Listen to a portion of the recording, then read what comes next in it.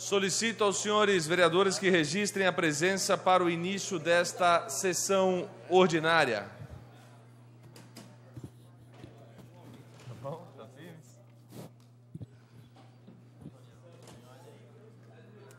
Eu queria lá depois a do grande expediente.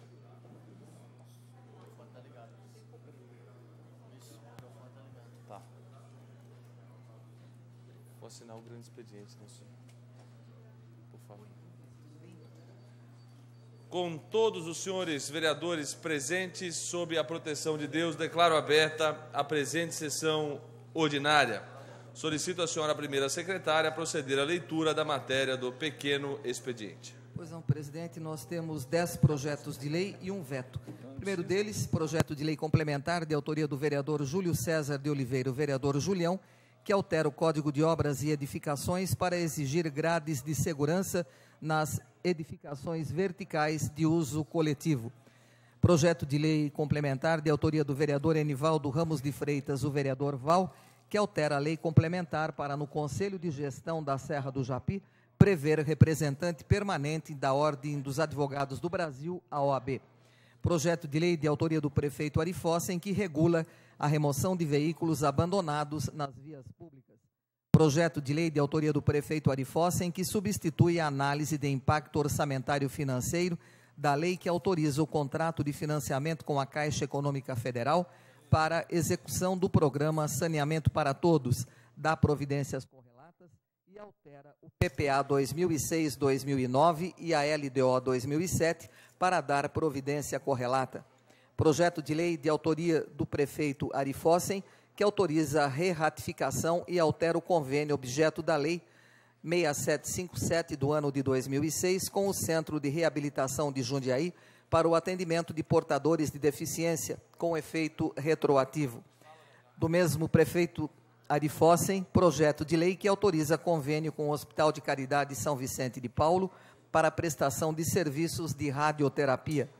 Do prefeito Ari Fossen, projeto de lei que autoriza aditamento ao convênio objeto de lei com o Instituto Jundiaense Luiz Braille para atendimento de portadores de deficiência visual.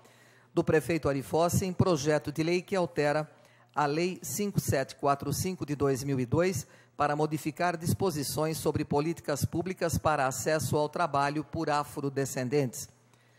Do mesmo prefeito Ari Fossen, projeto de lei que altera a Lei 6951 de 2007 para reformular a descrição perimétrica de área pública objeto de doação ao Serviço Social da Indústria, o SESI, para obra escolar no bairro do Caxambu. De autoria do prefeito Ari projeto de lei que altera a Lei 3013 do ano de 86 para retificar descrição perimétrica de área pública, objeto de doação ao Aeroclube de Jundiaí, situado no bairro Casa Branca. Finalizando, temos um veto ao projeto de lei do vereador Carlão Kubitsa, que prevê nas maternidades e clínicas pediátricas, no caso de recém-nascido portador de deficiência, a assistência que especifica. Senhor presidente, temos aqui um ato de Vossa Excelência, que eu peço licença para fazer a leitura, que diz o seguinte: Ato número 590, de 5 de dezembro de 2008, declara luto oficial na Câmara Municipal de Jundiaí pelo falecimento do senhor Lázaro de Oliveira Dorta. A mesa da Câmara Municipal de Jundiaí, Estado de São Paulo, no uso de suas atribuições e considerando que faleceu nesta data o senhor Lázaro de Oliveira Dorta, vereador nesta casa, durante a sexta legislatura, de 1969 a 73, sétima legislatura, 73 a 77 e oitava legislatura, de 77 a 83, considerando que esta casa lamenta a perda de tão ilustre cidadão que por exemplar dedicação representou o povo jundiaense nesse legislativo, resolve, artigo 1 é declarado luto oficial na Câmara Municipal de Jundiaí por três dias pelo passamento do vereador Lázaro de Oliveira Dorta. Artigo 2 os trabalhos da centésima sexagésima nona sessão ordinária da 14 quarta legislatura serão dedicados ao extinto em homenagem póstuma. Artigo 3 este ato entra em vigor nesta data. Vem assinado por Vossa Excelência, presidente Luiz Fernando Machado, por esta primeira secretária Ana Tonelli e pelo engenheiro Marcelo Gastal, do vereador segundo secretário. registrado e publicado na Secretaria da Câmara Municipal de Jundiaí em 5 de dezembro de 2008, assinado pela diretora administrativa em exercício, Luciana Mendes Pereira Rivelli. Este é o ato, senhor presidente. Muito obrigado, vereadora Ana Tonelli. As listas de requerimentos de alçada do plenário, de requerimentos de alçada da presidência e de indicações já foram distribuídas aos senhores vereadores. As listas de correspondências recebidas acham-se na secretaria à disposição dos senhores edis interessados. Solicito aos senhores vereadores que registrem a presença para o início da ordem do dia.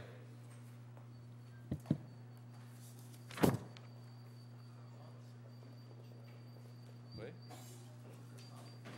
Não, pode falar, você é autor. Pode falar, pode explicar.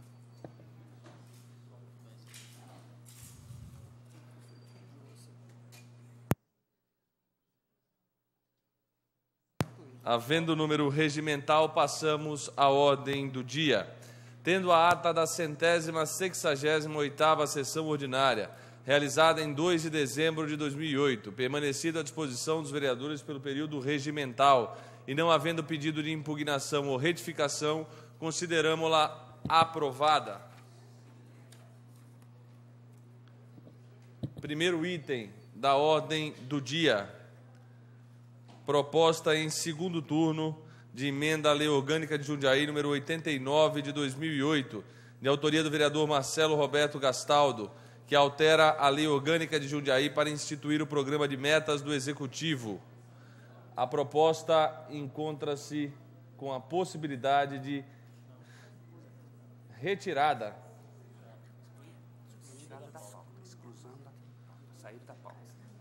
Está deferida a exclusão da pauta do primeiro item em razão de uma emenda que tenha sido colocada não ter sido apreciada antes em primeiro turno. Então não há possibilidade de nós apreciarmos o projeto em segundo turno, tendo a emenda ainda não passado pelo primeiro turno de apreciação nesta casa. Em razão disso, o projeto está retirado da pauta.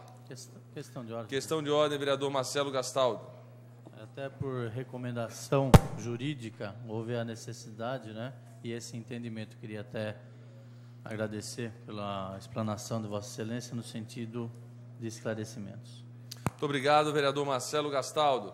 Segundo item da ordem do dia, projeto de lei complementar de número 839 de 2008, de autoria do prefeito municipal Ari Fossen, que altera o Código de Obras e Edificações para prever apresentação de relatórios consolidados com ilustração fotográfica da evolução da obra e da outras providências. O projeto está em discussão, em votação.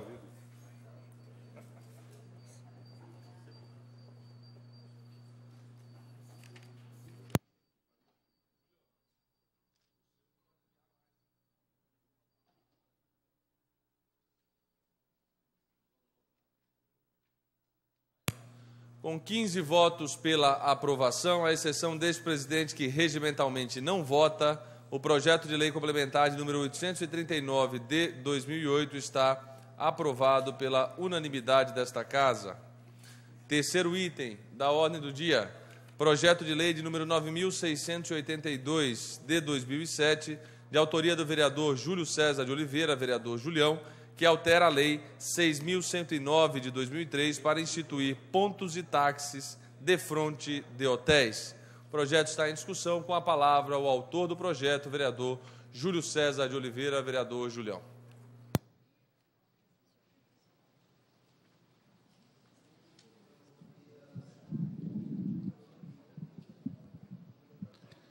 Senhor presidente, senhores vereadores, projeto de lei de número 9682 de autoria deste vereador, que visa alterar a Lei 6.109 de 2003 para instituir os pontos de estacionamento de táxi de fronte de hotéis. Eu já adiei três vezes, senhor presidente, fiz algumas discussões, sabemos que esta é uma área que realmente carece de uma mudança na legislação, de novo, por completo. Eu acho que está na hora de Jundiaí fazer uma discussão né, aprofundada sobre a questão dos táxis na nossa cidade. A gente vê muita reclamação por parte dos permissionários, muita reclamação por parte das pessoas que colaboram com os permissionários, muita reclamação da falta até de representatividade, às vezes, da categoria, onde nós temos aí duas ou três entidades representativas e que acabam não conseguindo, às vezes, se conversar.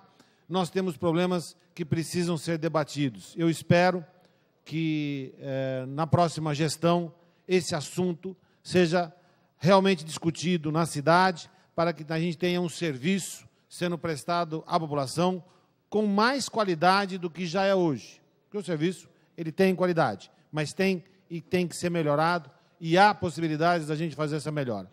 Esse projeto de lei ele abre mais algumas vagas de ponto de táxi na nossa cidade, na frente dos hotéis, que é uma das reclamações mais constantes que eu recebia por parte de alguns taxistas, era da iniciativa até de alguns estabelecimentos de estar contando, às vezes, com carros particulares fazendo o transporte, quase que né, é, é, é, indo buscar as pessoas que estão hospedadas nos hotéis. Então, com isso, a gente visa a minimizar e, se possível, terminar com esse problema. Permite então, a parte, parte, não, vereador Tico. Pode contar com o meu voto, vereador?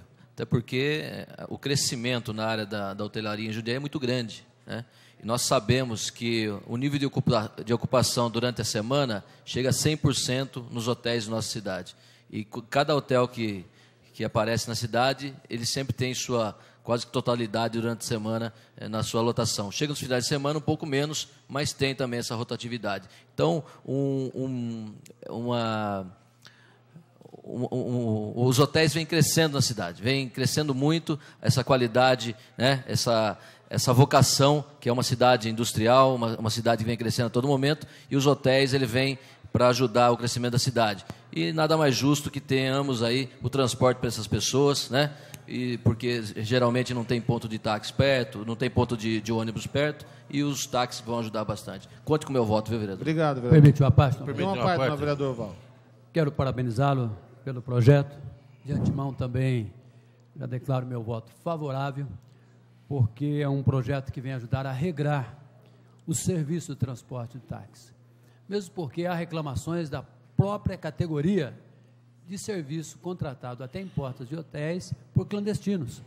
E é óbvio que se tiver ali um ponto de táxi, o taxista ali irá inibir esse tipo de, de fatos que vem ocorrendo. Parabéns, votarei com prazer um projeto de Vossa Excelência, mais uma vez, muito bem pensado. Parabéns. Obrigado, vereador. Você tem uma parte? Tem uma parte, não, vereador Caixão. Ah, parabéns pelo projeto, sim, porque Jundiaí, nós temos que regrar e automaticamente modernizar a cidade.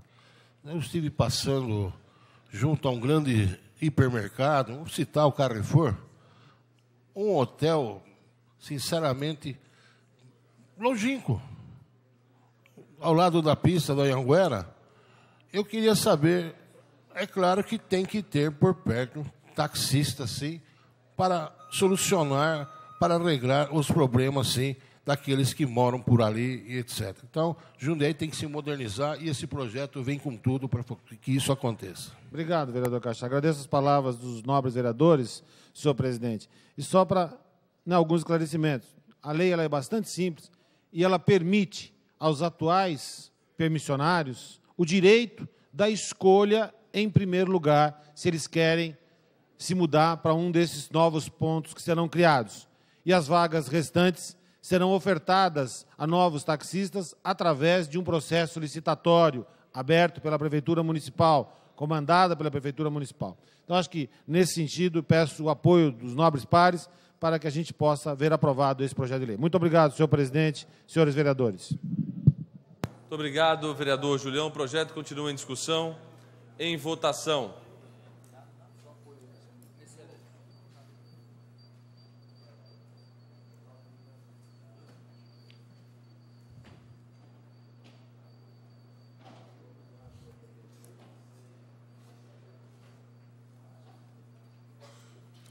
com 15 votos pela aprovação, à exceção deste presidente que regimentalmente não vota, está aprovado o projeto de lei de número 9682 de 2007. Questão de ordem, presidente. Questão de ordem, vereador Julião. Senhor presidente, eu gostaria de agradecer a todos os vereadores, tenho certeza que Vossa Excelência, se pudesse votar, também, com certeza, cravaria né, objetivamente o sim. Eu acho que é importante o agradecimento a toda essa casa por essa votação unânime num projeto de minha autoria. Muito obrigado. Obrigado, vereador Julião. Quarto item da ordem do dia, projeto de lei de número 10.109 de 2008, de autoria do vereador Antônio Carlos Pereira Neto, vereador professor DOCA, que prevê nas praças públicas espaços para lazer de idosos. O projeto está em discussão. Com a palavra, o vereador professor DOCA.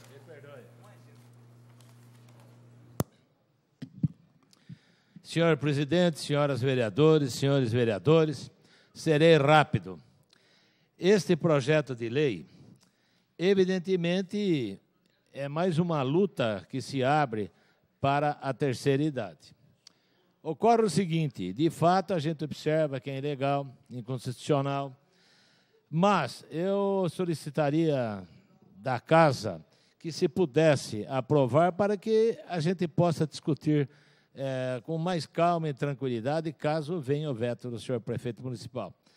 Pode ser que ele se sensibilize e aprove, mesmo sendo inconstitucional e ilegal, e ele tiraria o vício. Isso que é muito importante. Portanto, senhor presidente, senhor Você deu uma parte, nobre vereador? Com o máximo prazer, grande vereador da Vila Progresso. Não há dúvida. Vereador Doca, temos que parabenizá-lo sim, porque as praças públicas 90%. Antigamente existia o romantismo nas praças, tudo isso daí. Hoje, tá Deus dará. Vandalismo, tudo que é de coisas que, né? Você vê a praça, vou citar uma, da Vila Hortolândia. Desde manhã até a noite, os idosos, até os jovens, praticam ali o seu lazer. Nós tivemos aí recentemente também, numa praça no meu bairro, Fui bem criticado por alguns, mas hoje estou consciente que serviu e continua servindo para algumas coisas. Uma praça Getúlio Vargas, hoje, tem mesinhas para os senhores jogar um baralhinho. Você passa a partir das 14 horas lá, quantos aposentados, quantas pessoas jogando o seu baralhinho, saindo da sua casa, indo para esse lazer. Todas as praças públicas teriam sim que ter o lazer, principalmente para os idosos. Parabéns por esse projeto, tenho certeza que o prefeito não vai vetar, porque ele vem fazendo um trabalho muito importante dentro da sua administração no que tange aos idosos. Muito obrigado, vereador Caxian. E Vossa Excelência levantou, de fato, um problema interessante. Se, por exemplo, essa lei, o prefeito der uma uma força para a Câmara e também tira o vício de legalidade, as, manutença, as manutenções seriam mais perfeitas pelo município. Isso, de fato, Vossa Excelência tem razão. E também, ah, ele citou praças aí, tem a do, da Vila do Branco, que foi um trabalho do Tico e o trabalho do Carlos Cachan, dois bons vereadores, né? que houve uma, uma certa dúvida na ocasião. Não sou eu, foi eu, mas no fim eram os dois aí que trabalharam e a população da terceira idade e fora da terceira idade, os jovens estão satisfeitíssimos com esse trabalho dos dois vereadores da casa. Muito obrigado, senhor presidente, senhores vereadores, senhores vereadores. Muito obrigado, vereador Doca, pelas suas considerações. O projeto continua em discussão, em votação.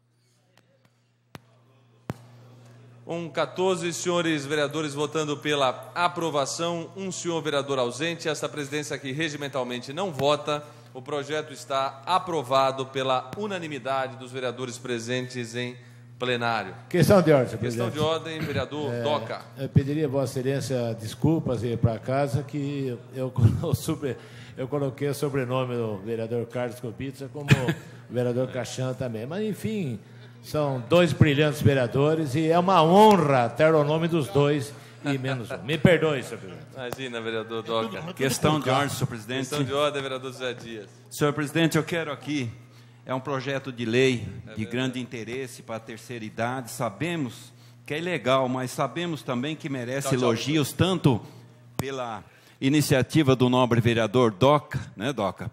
E a gente sabe que esse projeto de lei é de interesse da sociedade em geral. E por que não, vereador, a própria prefeitura fazer um trabalho de parceria com as empresas e fazer com que essas praças ela volta novamente a ser um ponto de encontro de toda a população na cidade de Jundiaí.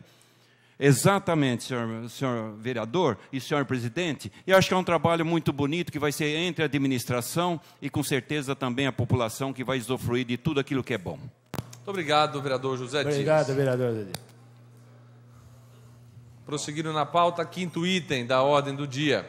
Projeto de lei de número 10.115 de 2008, de autoria do vereador Antônio Carlos Pereira Neto, vereador Doca, que veda ao aluno nas salas de aula da rede pública de ensino o uso do aparelho telefônico móvel. O projeto está em discussão. Com a palavra o seu autor, vereador Doca. Senhor pre- presidente da Casa, senhoras vereadoras, senhores vereadores, mais um projeto de lei que foi dado como inconstitucional e ilegal. O que a gente precisa chamar a atenção da população de Jundiaí, que a Câmara Municipal, através do projeto de resolução 466 da mesa, que tinha o saudoso vereador e presidente Francisco de Assis Poço, ele proibiu, evidentemente, o uso do celular dentro do plenário. Então, foi uma atitude muito bem pensada, brilhante. Os vereadores receberam com a maior tranquilidade isso aí, porque de fato era uma correção. A gente não conseguia trabalhar na época, que tinha telefone. A vereadora Ana até acha graça, mas é verdade. Na época não dava nem para conversar, de tanto que, que os celulares eh, tinha o problema de incomodar o andamento da sessão. Agora, o- eu tinha o pensamento de tirar, eh, retirar o projeto em virtude dele ser ilegal e inconstitucional. Ocorre que, consultando alguns membros da casa, parece que a gente pode achar uma saída, porque a responsabilidade seria, segundo consta ah, o parecer jurídico, era o seguinte, que evidentemente ficaria a cargo da Secretaria de Educação e da própria Prefeitura as providências que se tornariam para esse projeto de lei, que seria a proibição do celular, ou seja, ligado dentro da sala de aula. Não é que não vai entrar com o celular. Eu estou com meu celular lá, está desligado, como os senhores vereadores também estão fazendo. Ocorre que, com uma emenda, nós vamos tentar ver se o prefeito aceita, porque pode ser que tire a ilegalidade. Pode ser que tire. Porque daí seria um projeto diretamente para a cidade, tanto para a escola estadual, como, evidentemente, para municipal e para escola de fundo particular. Então, seria uma disciplina que a prefeitura poderia, evidentemente, dar uma cobertura para a cidade.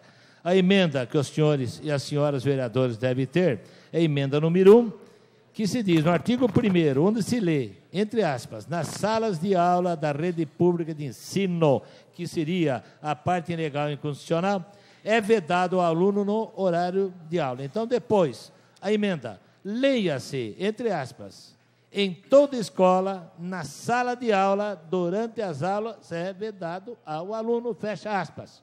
Então, pegaria até o curso superior particular, pegaria as escolas estaduais, pegaria tudo. Então, seria é, uma coisa coletiva que poderia haver possibilidade do prefeito tentar é, corrigir e a parte jurídica. Me concede uma acertar. parte, vereador. Com o máximo prazer, vereadora Silvana. Eu queria lhe parabenizar pelos dois projetos. O anterior, que é um projeto, foi um projeto extremamente importante. Eu até estou me poupando, porque eu estou com um problema de garganta aqui. Mas parabenizá-lo por esse projeto. Porque essa é uma reclamação de muitos professores, dos diretores das escolas, que estão, inclusive, retendo consigo os aparelhos celulares da- do- dos jovens, uma vez que, apesar de ser proibido e eles colocarem essa proibição na escola, ninguém respeita. Então, é uma questão até de educação. Né? Ninguém usava aparelho celu- celular até pouco tempo. E não há uma necessidade premente do uso do, do celular em sala de aula. Né? Então, eu acho que o senhor está extremamente correto, o seu, o seu projeto é extremamente necessário, parabéns pelo seu projeto. Eu acho que o prefeito deve sim sancionar seu projeto, porque ele é extremamente necessário para a questão não só educa educativa, mas de conduta dentro das escolas, tanto particulares como públicas. Muito obrigado, vereadora Silvana. É uma honra ter as palavras de Vossa Excelência, principalmente não tem problema de garganta. É, estimo melhora, claro e evidente, e muito obrigado pela colaboração. Senhor presidente, senhores vereadores, senhoras vereadoras, essa a palavra, solicitaria, evidentemente, a aprovação do projeto e a respectiva emenda. Obrigado. Muito obrigado, vereador Doca. O projeto continua em discussão. Com a palavra, o vereador pastor Roberto Conde Andrade.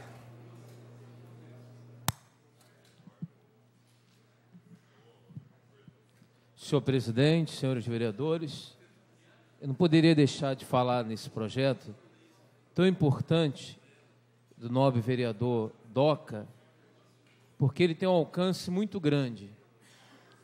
É, além de ser uma questão de educação, como a vereadora colocou, nós sabemos que os aparelhos é, de telefones celulares, eles são dotados de uma tecnologia, tem jogos, por exemplo.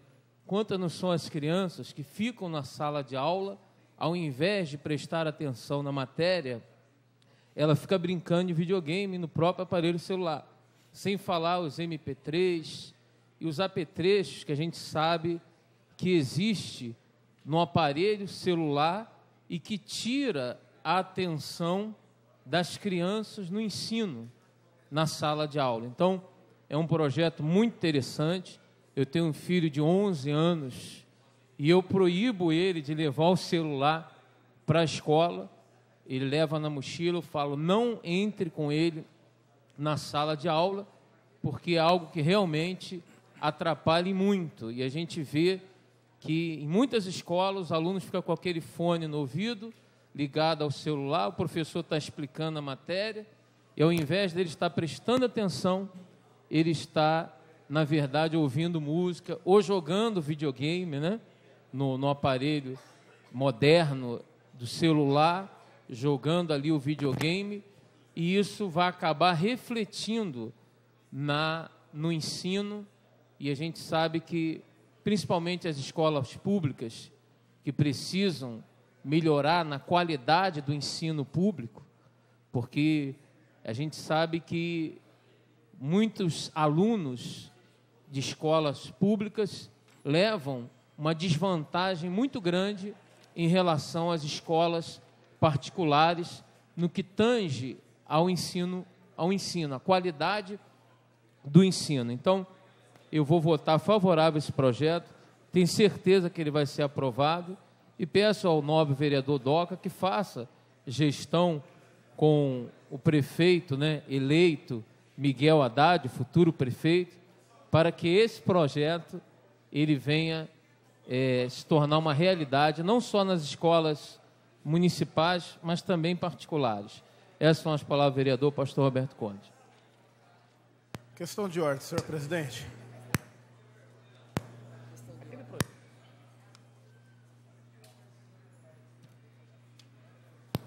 Questão de ordem, vereador Adilson Rosa.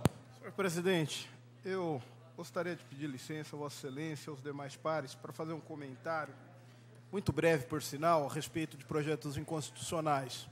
Nós temos tido posicionamento na Comissão de Justiça e Redação de que é possível, é, após a sanção do prefeito, prefeito do prefeito, né, da, da aplicabilidade ao projeto, e que passa por essa casa projetos inconstitucionais também do Poder Executivo, com apontamento de inconstitucionalidade também do Poder Executivo, e que a Câmara tem procurado, na medida do possível, né, dar, dar, dar aprovação a esses projetos, porque entende que são projetos de alcance, que são projetos importantes no que pese o apontamento da, da inconstitucionalidade. E me passa aqui um pela mão agora, projeto número 10.162, de autoria do prefeito Arifós, que altera a Lei 5.745 de 2002 para modificar disposições sobre políticas públicas para acesso ao trabalho por afrodescendentes.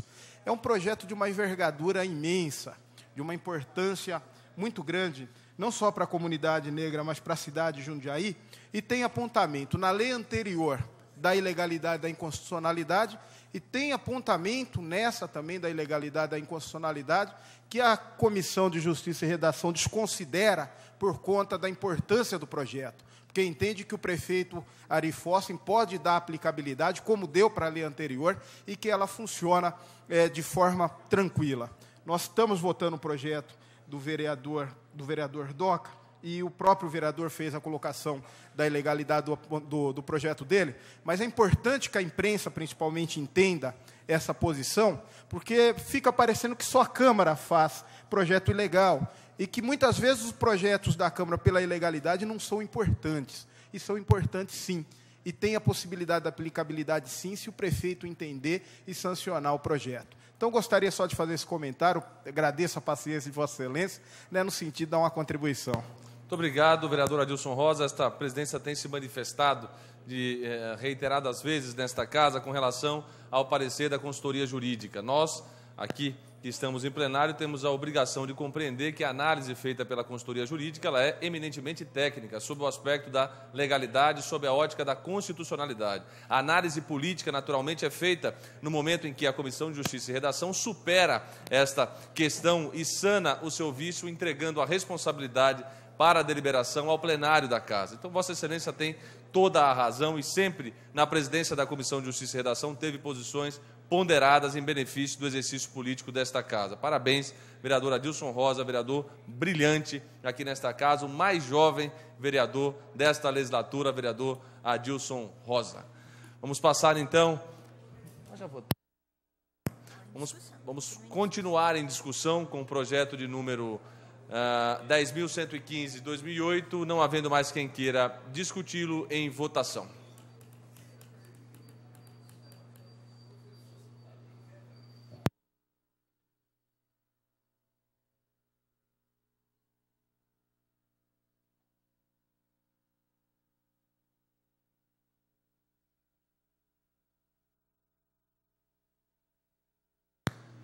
Com 15 votos pela aprovação, à exceção desse presidente que regimentalmente não vota, o projeto está aprovado. Há necessidade também de nós votarmos a emenda de número 1 ao projeto de lei de número 10.115. A emenda é do próprio autor do projeto, o vereador Doca.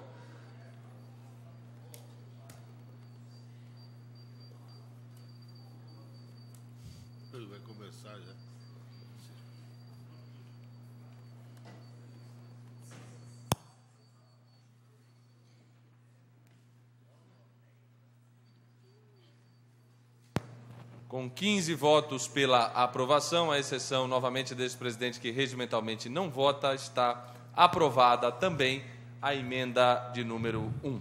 Questão de ordem. Questão de ordem, vereador José Antônio Caixã. Senhor presidente, minha questão de ordem é para registrar aqui em plenário a presença do ex e sempre vereador Marcílio Carra, vereador 24 horas, sempre o slogan dele foi bem atendido aqui na Câmara. Sempre falou que o vereador sempre foi o para-choque do senhor prefeito. Éder Gugurumin. O Éder Gugurumin também presente aqui, companheiros nossos aqui. Gostaria de registrar a presença desses companheiros vereadores na casa. Muito obrigado, vereador. Questão de ordem. Caixão. Questão de ordem, vereador Doca. Senhor presidente, quero agradecer a Vossa Excelência e a todos os vereadores pela aprovação desses dois projetos, é, que me sensibilizou, e também um agradecimento à imprensa escrita, falada e televisionada, que nos ajudou muito. Muito obrigado, senhor presidente. Muito obrigado, vereador Doca. Sexto item da ordem do dia Projeto de lei de número 10.143 de 2008, de autoria da vereadora doutora Silvana Cássia Ribeiro Batista, que inclui no calendário municipal de eventos a festa da, do padroeiro São João Bosco, promovida pela paróquia São João Bosco, do, do Eloy Chaves. O projeto está em discussão, em votação.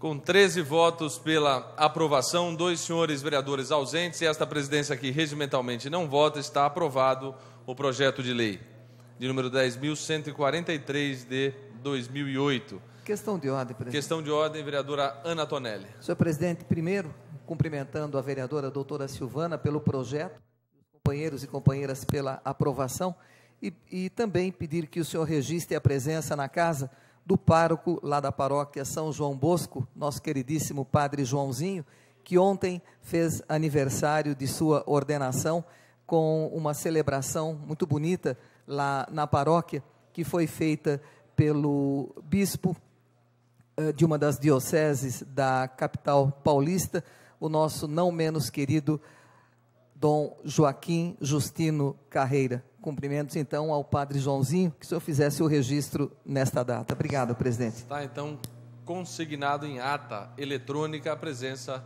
a, a, a, homenagem feita pela vereadora Ana Tonelli ao Padre Joãozinho. Vamos passar ao sétimo item da ordem do dia, que é o projeto de lei de número 10.148 de 2008, de autoria da vereadora doutora Silvana Cássia Ribeiro Batista, vereadora doutora Silvana, que inclui no calendário municipal de eventos a festa da família Dom Bosco, pela paróquia, promovida pela paróquia São João Bosco, no Parque Residencial Eloy Chaves. Com a palavra, a autora do projeto, a vereadora doutora Silvana.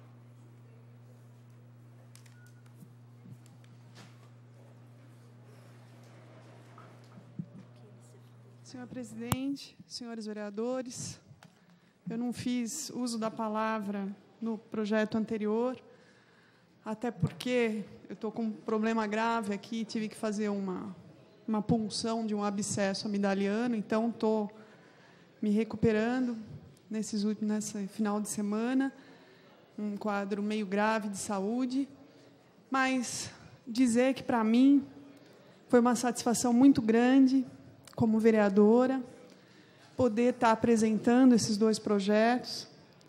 Primeiro, porque o padre Joãozinho é uma pessoa com quem eu tenho um grande carinho, por quem eu tenho um grande carinho, inclusive toda a comunidade do bairro, a quem eu me dedico quase sempre nas palestras dos cursos de noivos. Dizer que eu não pude estar presente, inclusive, na celebração do domingo, por conta do problema. Mas eu não poderia deixar de estar hoje aqui homenageando toda a paróquia do Eloy Chaves, uma vez que já há mais de 20 anos a paróquia São João Bosco está instalada lá no Parque Eloy Chaves. E foi em 1980 doado uma área de um pouco mais de 7 mil metros pelo senhor Vail Chaves, e senhora Antonieta Sintra Chaves Gordinho, destinada à construção da igreja. E no dia 8 de dezembro de 1980, dia consagrado à Imaculada Conceição, foi realizada a primeira missa campal presidida por Dom Roberto Pinarello. Graças a Deus, são mais de 20 anos de luta de muito trabalho e dedicação por toda a comunidade. E em 29 de maio de 2005, efetivado o assentamento da pedra fundamental para a edificação da nova igreja, com a presença do bispo diocesano Dom Gil Antônio Moreira, que fez a bênção da pedra, após a celebração eucarística sobre a presidência do padre João Batista Carvalho. Então, senhor presidente, nada mais justo do que a gente poder homenagear aquela comunidade, nada mais importante e dizer que, apesar de não estarmos aqui no próximo ano como vereadora, estaremos próximos sempre, não só de coração, mas de alma, rezando sempre para que a gente consiga, logo, logo, estar fazendo a igreja lotada de pessoas, inaugurando aquela belíssima obra que o Padre Joãozinho está à frente, e dizer que a gente vai estar apoiando todos os movimentos da igreja, assim como os encontros de noivos. Agradeço a toda a Câmara, espero que todos votem favoravelmente. Desculpe mais uma vez pelo problema aqui da, da garganta, mas eu não poderia deixar e faltar a essa sessão, uma vez que tem sido para mim um grande momento poder homenagear uma comunidade por quem eu tenho tanto carinho, um padre tão especial para mim. Muito obrigado, senhor presidente. Muito obrigado a todos. Muito obrigado, vereadora doutora Silvana. O projeto continua em discussão. Em votação.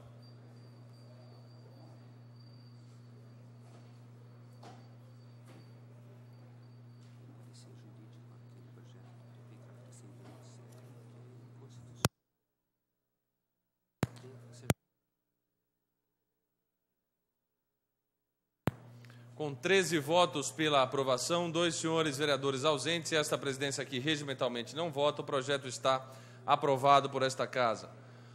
Oitavo item da ordem do dia, projeto de lei de número 10.153 de 2008, de autoria deste presidente, que declara de utilidade pública o Instituto Nacional de Defesa do Cidadão e do Consumidor, o INDEC. O projeto está em discussão. Em votação.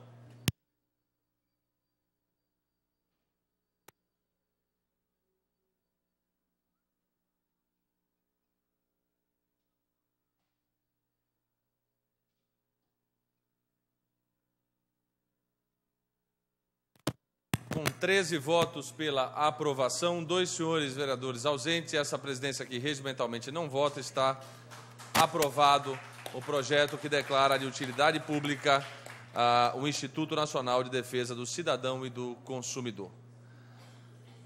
Vamos passar ao nono item da ordem do dia, que é o, são os projetos de lei de denominação, que serão discutidos englobadamente. Os projetos de lei de denominação estão em discussão. Palavra, senhor presidente. Com a palavra, o vereador Antônio Carlos Pereira Neto, o vereador Doca.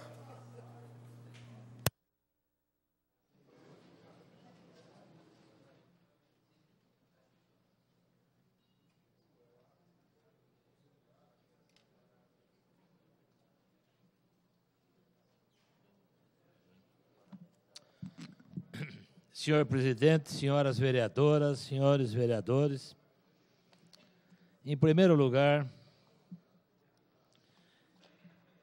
eu parabenizo os senhores vereadores Carlos Alberto Kubica e Edivaldo Ramos de Freitas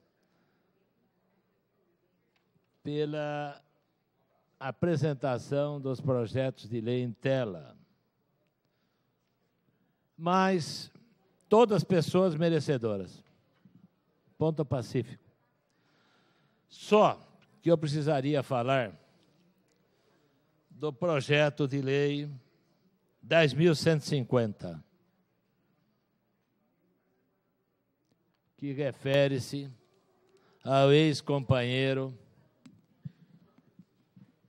Erazê Martinho. Em primeiro lugar, eu fico surpreso é, que esse grande vereador está sendo homenageado somente agora. Para mim, eu achava que já estaria correndo o projeto já há muito tempo. Mas quis, evidentemente, Deus que o vereador Carlos Alberto Kobitza assim o apresentasse. Fico bastante emocionado em lembrar desse companheiro que nesta casa a vereadora Ana Vicentina Tonelli, 82, também participou com este amigo Erazer Martinho. Eu não lembro se tinha, eu acho que era somente nós dois. Eu vou dizer uma coisa, senhor presidente, senhoras vereadores, senhores vereadores. Foi um dos melhores vereadores que teve essa casa pela sua inteligência, pela sua capacidade e o que é mais importante, senhor presidente, pelo companheirismo. Vereadora Ana é testemunha disso.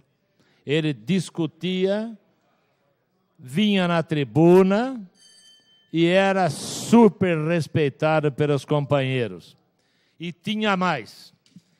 ele era humilde ao extremo de reconhecer, evidentemente, que o companheiro que estava enfrentando-o na tribuna tinha razão em alguns casos.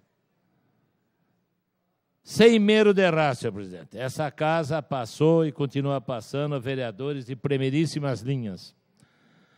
Mas o vereador Irazê é de grande saudade. Eu me desculpe, eu estou emocionado, porque eu sentei juntamente com ele naquela mesa onde se encontra Zé Dias e o vereador Sartori. E o mais interessante, senhor presidente, que nós éramos campeões, campeões de fumar. Aquela mesa antes era permitido o cigarro, que faz mal, evidentemente, e eu brincava com o Erazê, ele vinha com três ou quatro maços cigarro, eu com os três ou quatro, só como era longo. E nós enchíamos o, o cinzeiro rapidamente. Então a gente fazia, evidentemente, um acordo. Primeiro eu ia e depois ele ia.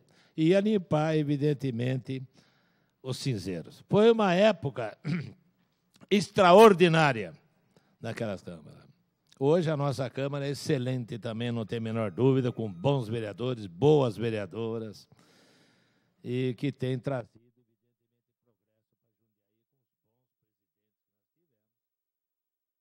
Mas nós não poderíamos deixar de esquecer, de forma nenhuma, desse grande amigo Eliezer Martinho. Deixa saudades. Deixou bastante saudades. Salve o vereador Carlos Alberto Amonte por ter apresentado esse projeto. Carlos Kobitsa, não é isso ou não? Falei errado outra vez. Como? Oh, mas dei saudades também, Amonte. Escuta, sabe o que acontece? Hoje apresentei um projeto de terceira idade, então vocês me perdoem, né? A idade da gente vai misturando, que nem liquidificador, né? Mas não tem nada. Eu sempre digo, todos os nomes que eu estou falando em duplicata, imaginou um vereador ter a potência desses nomes que eu estou apresentando em uma pessoa só. Ninguém seguraria essa Câmara, não é verdade, senhor presidente? Então, peço perdão de, de ter trocado. Carlos Kobitsa, parabéns, tá? Parabéns a essa casa, parabéns ao vereador que se encontra aí, o nosso companheiro Enivaldo Ramos de Freitas, que também apresenta um projeto de lei com o nome de Ida Bergaminho Bueno, claro, evidentemente, que merece homenagem também. Senhor presidente, senhores vereadores, me perdoe, eu fiquei emocionada, emocionado e solicito a aprovação dos projetos com muita honra. Obrigado. Muito obrigado, vereador Doca. Eu tenho absoluta convicção que a sua idade e o seu esquecimento não tiram o brilhantismo da vossa pessoa, vereador Doca, que reconhece num adversário político, reconhece em alguém que por muitas vezes não esteve do lado nas trincheiras políticas de Vossa Excelência, a, grandeza. O vereador Doca é de fato um homem brilhante. Eu tenho muito orgulho de ter Vossa Excelência enquanto companheiro de Câmara Municipal. Vereador Val, com a palavra.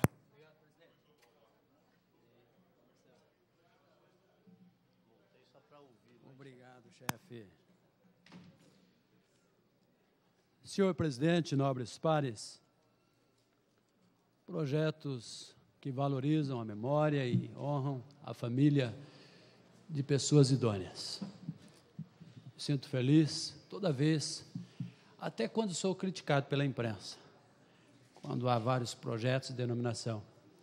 Um povo sem história é um povo sem valor. Nós temos pessoas que eu não tenho cansado de dizer nessa tribuna que têm escrito a história de Jundiaí. Jundiaí é grande, Jundiaí é uma cidade que a gente se orgulha de dizer como é bom viver aqui, pelo nosso povo. E é principalmente aqueles que Deus já recolheu. Homens como Erazê, já mencionado aqui, como Ida, qual estamos apresentando, como o vereador Doca disse tão bem aqui, pessoas que merecem ser mesmo lembradas, perpetuadas pelo nome, pela sua vida, pela sua idoneidade, seu caráter, pela contribuição com a formação nossa e de nossos filhos que estão vindo por aí no legislativo, sim, também no executivo e no dia a dia, como trabalhadores, como pessoas que têm consciência cristã, pessoas que sabem do amor ao próximo e que lutam para deixar um bom exemplo com suas próprias vidas. Escutei até esses dias uma historinha no rádio que eu fiquei tão assim feliz porque pessoas pensam em coisas para que nos façam entender, senhor presidente, da importância não só daquele que pensa em si mesmo, mas no próximo. Diz que um senhor de quase 100 anos de idade estava chupando um jabuticaba lá, em uma, uma chácara, num terreno, e chegou uns jovens lá, debochando dele, e disse, e começaram a brincar com aquele senhor, e ele chupava a jabuticaba, e ia lá e enterrava o caroço e plantava. E chegou um jovem e falou assim, ô vô, não adianta, o senhor, quando esse pé de jabuticaba estiver grande e já produzindo, o senhor já morreu. Ele olhou para o jovem e falou: É, mas alguém plantou para mim estar chupando essa jabuticaba aqui hoje. É história de vida. Ele já estava pensando no próximo dia de amanhã, sabendo que ele estaria ali. Então, esse é amor, amor verdadeiro ao próximo. Achei tão lindo. Falou esses dias na FM, na Dumont, aqui em Jundiaí, uma história. Mais uma propaganda aqui da rádio.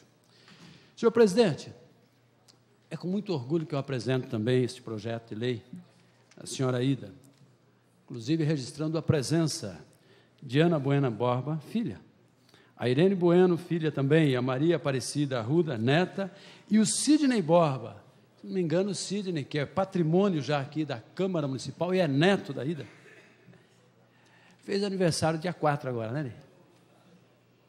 Já foi dia 4 passado? Retrasado. Olha aí, ó, ficou mais velho. Pois bem, a senhora Ida Begamin Bueno foi casada com Virgílio Bueno, hoje falecido, e teve cinco filhos: Amélia Bueno, falecida, Juraci Bueno, Ana Bueno Borba, Irene Bueno e Gildo Bueno, os quais lhe deram 14 netos e seis bisnetos. Aí o Ney. Trabalhou durante vários anos em casa de família, sendo bastante respeitada, pois com seu bondoso coração estava sempre pronta a ajudar a quem dela necessitasse. Além de trabalhadora, era muito dedicada à sua própria família e vai descrevendo uma vida honrada. E esse exemplo ela deixou para todos nós, inclusive para a sua família. Hoje suas netas trabalham com pessoas surdos, mudos, psicólogos, eles têm uma atuação muito grande na sociedade, seu genro, aliás, é seu genro, Moisés, sua esposa com crianças, organização, no bairro do Vianello, enfim, na divisa com a Vaz, eles têm um trabalho muito bonito. E isto é um exemplo que deixa pessoas como essas idôneas. Por isso, merecem ser mesmo registrados e mostrados seus nomes para a nossa memória de pessoas que realmente contribuíram e contribuem seus familiares até hoje e sei que continuarão para que a nossa cidade continue grande como ela é, pessoas idôneas. Por isso, eu sei que os nobres pares nos apoiarão aprovando esses projetos de lei, aprovando a denominação de Ida Begamin Bueno e também do Erazer e Francisco Gomes, a Solange de Jesus de Oliveira e da Creuza do Prado. Senhor presidente, nobres pares, são essas as palavras do vereador Val. Muito obrigado. Muito obrigado, vereador Val, pelas suas considerações. O projeto, os projetos continuam em discussão. Com a palavra, o vereador José Carlos Ferreira Dias, líder do PDT nesta casa.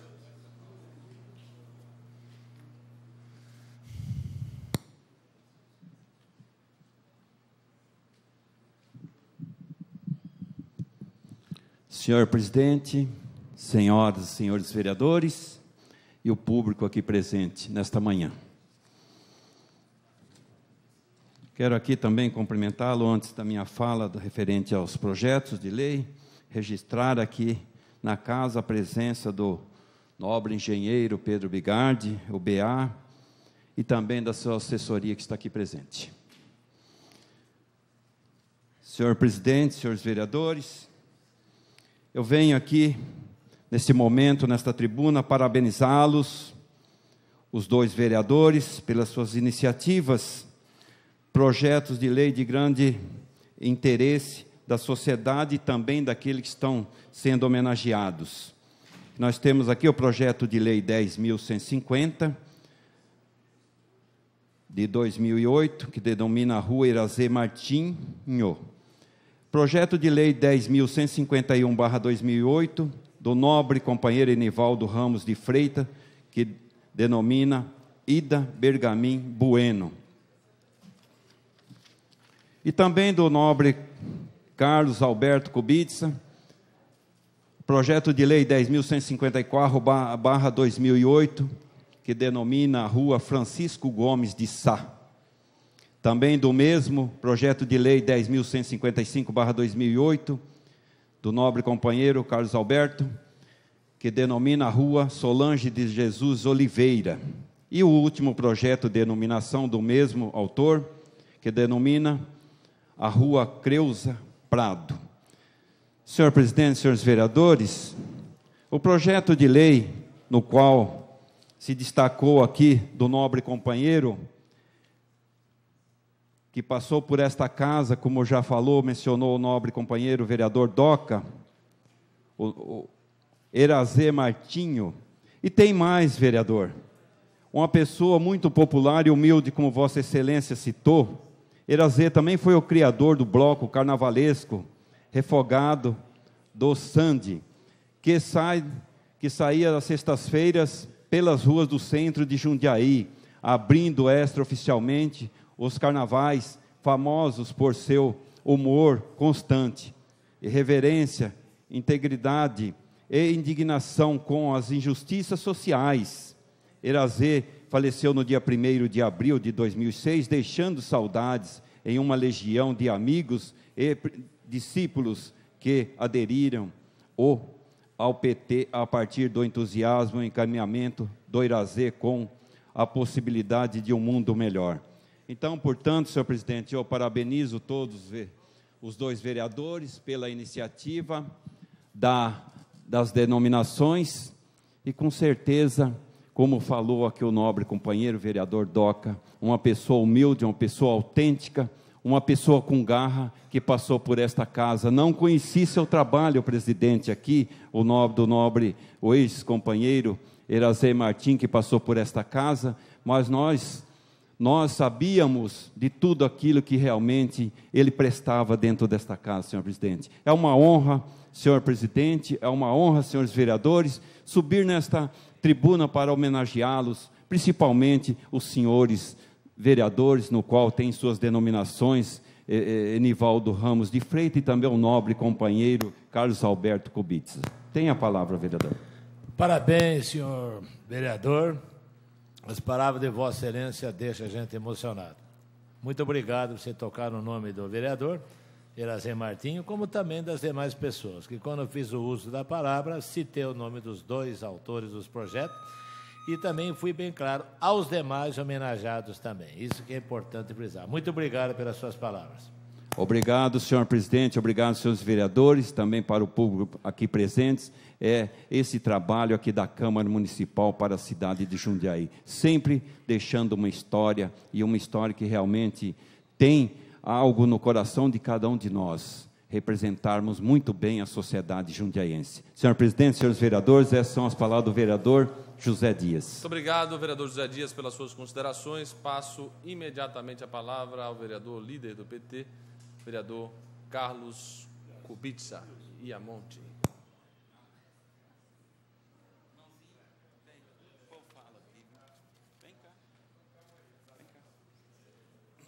Falou, Doquinha.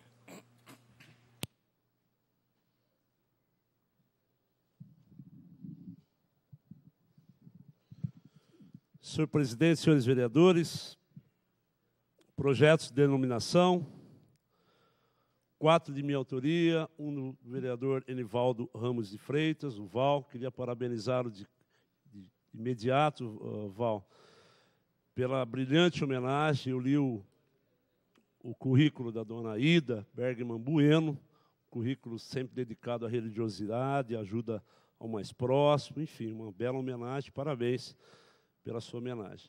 Senhor presidente, senhores vereadores, conjunto residencial Vista Alegre é, que tem como financiador o CDHU, é, houve a necessidade de se dar nome àquelas ruas, até em função do próprio projeto que era cobrado na prefeitura.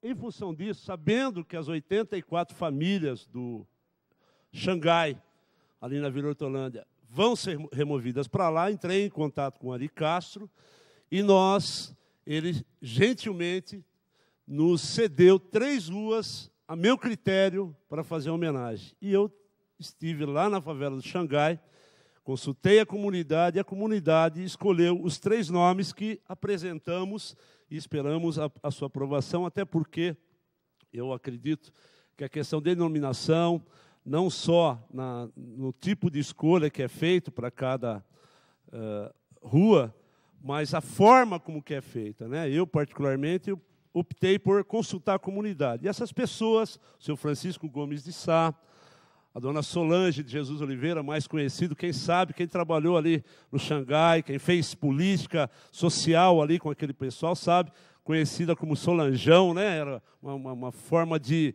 de uh, carinhosa de homenagear Solange, porque o coração dela era maior do que ela, e a dona Creuza Prado, também, todas as pessoas que se envolveram com a comunidade, quem conheceu essas pessoas sabe da grandeza delas para a comunidade do Jardim Xangai. Então, nesse sentido, o currículo dessas pessoas são currículos de pessoas simples, mas que com muita objetividade eh, se envolveram ao longo dos anos na comunidade do Jardim Xangai e hoje nós estamos prestando essa singela homenagem a essas pessoas que realmente deixaram sua marca registrada ali no Xangai. Particularmente, senhor presidente, projeto de lei 10.150, até respondendo um pouco que o vereador Doca uh, usou, falou da tribuna, o Irazé morreu em, em 2006. Desde 2006, eu tenho procurado um próprio público à altura da grandeza política e da bondade da pessoa humana que foi Erazé Martinho. Mas, infelizmente, os próprios públicos é, de porte, de porte, como unidades, centros é, de especializações ou unidades de saúde, é, não chegam até os vereadores de oposição. Né?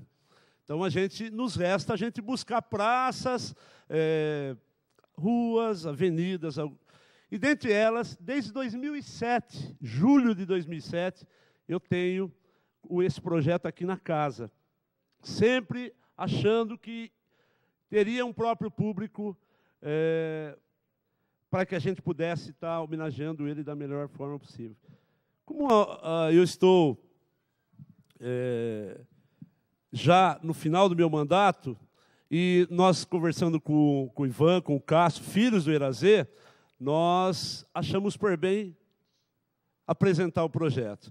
Afinal de contas, o Irazê também, ali na, na onde a gente está homenageando, que é aquela marginal da 14 de dezembro, entre a, a rua Caconde e a rua Elias Fausto, ali na Vila Mafalda, é onde tem o bar do Chopp, o Uai, restaurante. O Irazê já frequentou ali também. Então, nada mais, é, nada mais justo do que a gente ceder esse espaço, a, esse espaço o nome do Irazê Martins.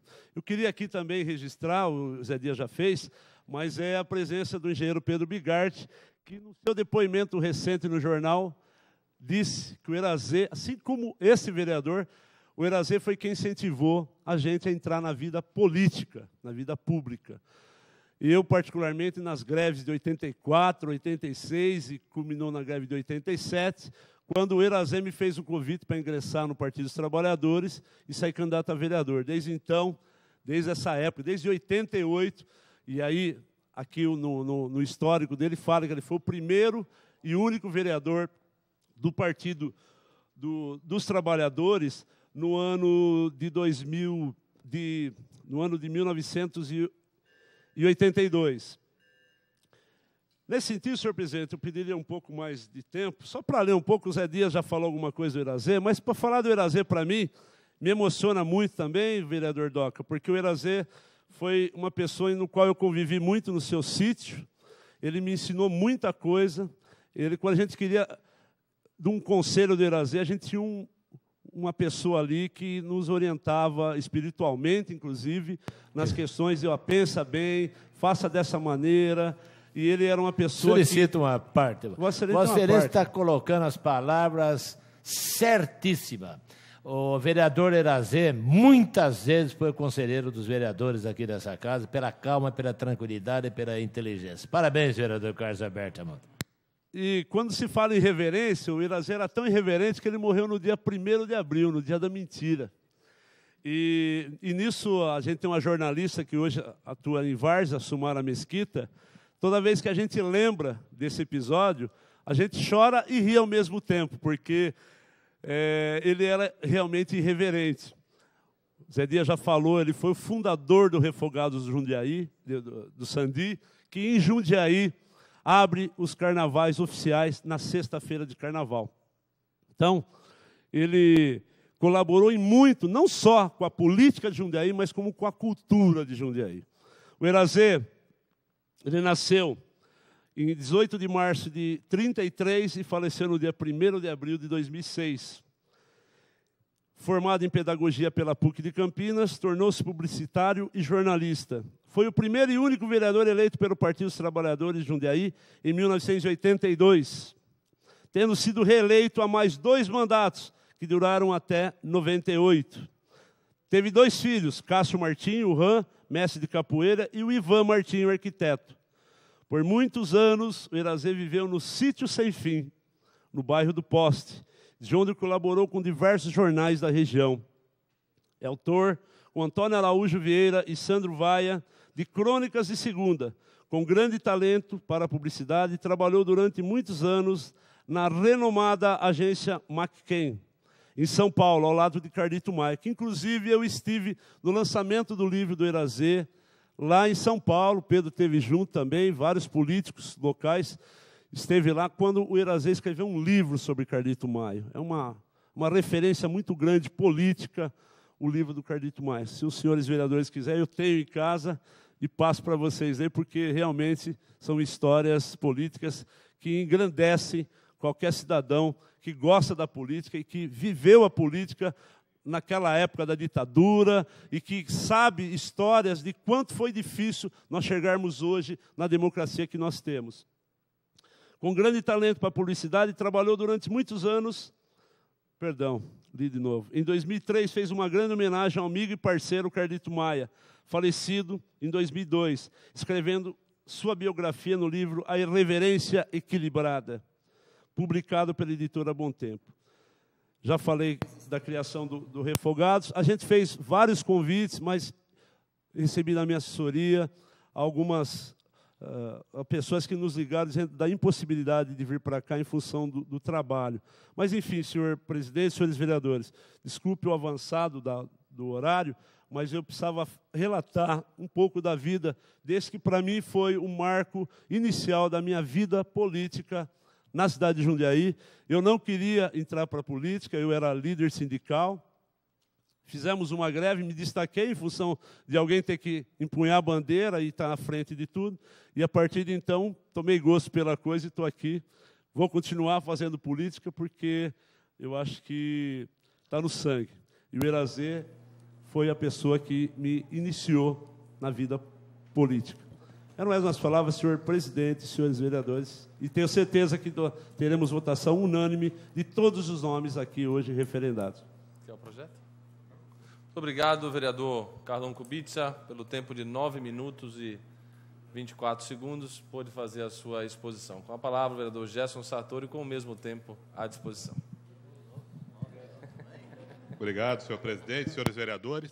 Quero cumprimentar o nosso líder de bancada, vereador Carlos Kubica, que já há algum tempo vem batalhando um local, vem discutindo um local, para homenagear o Erazê Martinho, que é uma referência para nós do PT, e acredito que é uma referência na política, é uma referência como cidadão de, de Jundiaí. Conheço e conheci o Erazê Martinho uh, nos, no início dos anos 90, quando adentrei no movimento sindical.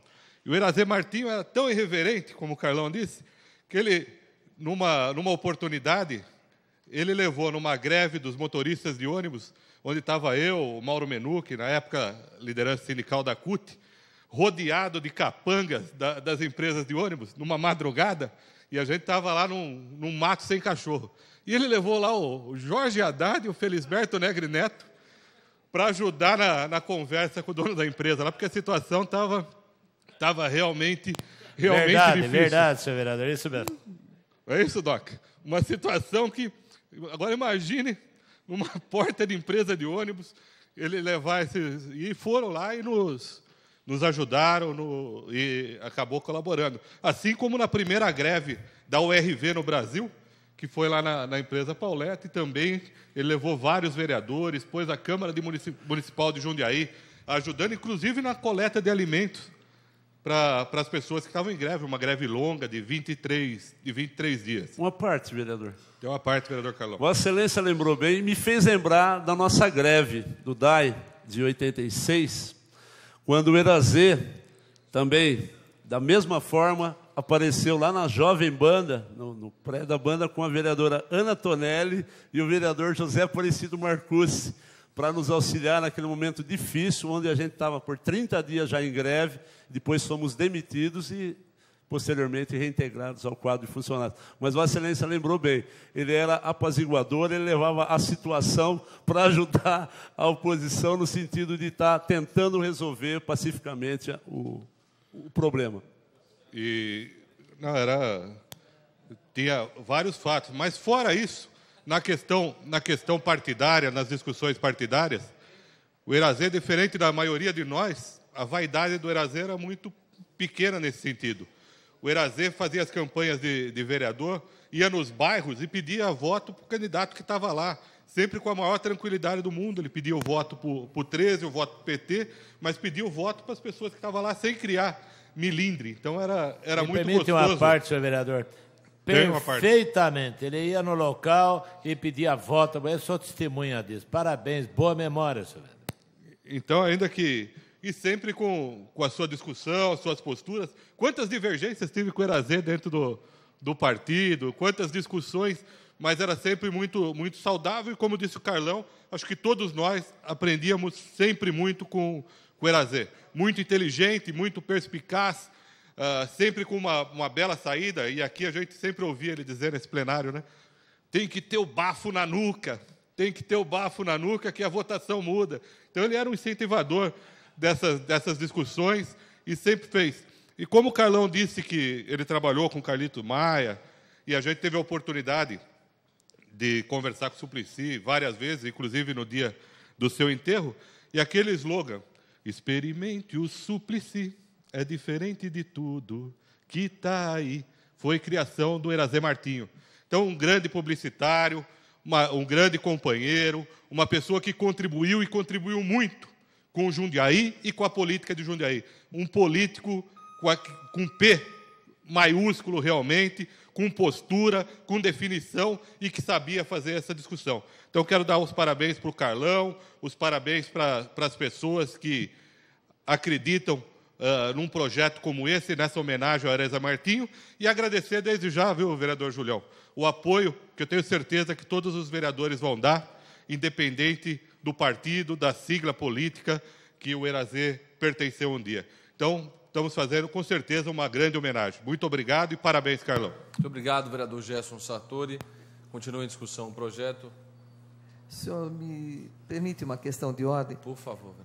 Senhor presidente, não farei uso da tribuna, mas me lembrava aqui o, o, funcionário, o servidor, o Nelson, que também é daquela época aqui desde 82 conosco, ele se lembrou quando o Gerson falou da criação dele, no caso do Suplicy, né? Tem mais uma outra criação.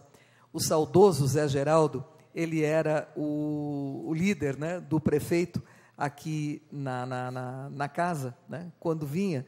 Então, ele, ele foi criado, mas aí não acho que não foi ele, eu acho que foi o Antônio Galdino, porque o Zé Geraldo não era do tempo dele quando ele vinha aqui à Câmara. Era o, o, o vereador Cuco, quer dizer, o eterno vereador, porque ele queria saber como é que está sendo, estava sendo votada a coisa aqui, então cada pouquinho ele abria a porta e aparecia, né? Mas foi também alguma coisa que do, do Erazê, né? E depois passou para o vereador Galdino. E a irreverência foi do Erazê mesmo, então tá certo. E a, a irreverência dele, eu acho que ficou até nos momentos finais. Nós participamos, fomos até o, o enterro dele e foi acompanhada pela bandinha São Joanense cantando as músicas de carnaval que o Erazê tanto gostava, não é? Quando desfilava pelo refogado do Sandi. Obrigado, presidente. Senhor presidente, uma questão de ordem. Por favor. Só uma, uma questão que é muito lá do, do nosso partido, e sempre a gente viveu isso. Então, a gente tem o Galdino, tem o Erazê, como duas grandes personalidades, figuras no, no partido, dois grandes veteranos do partido. E o Erazê sempre falava: o Galdino nasceu para mandar e eu nasci para desobedecer. Que era sempre aquela questão da irreverência dele. A linhagem continua, vereador Gerson Sartori. Continua em discussão o projeto. Em votação.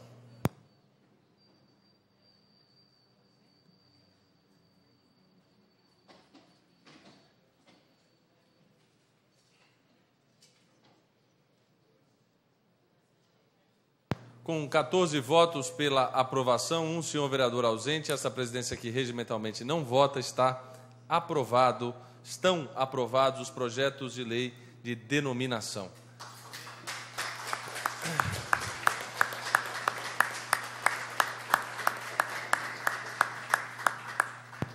Questão de ordem, presidente. Questão de ordem, vereador Marcelo Gastaldo.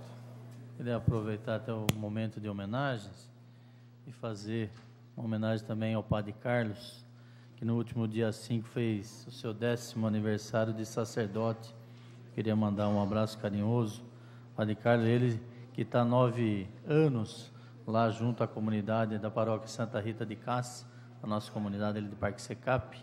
Então, queria deixar aqui os agradecimentos e oferecer essa sessão de hoje aos 10 anos de aniversário do sacerdócio do Padre Padre Carlos Aparecido Marquesani. Obrigado, senhor presidente.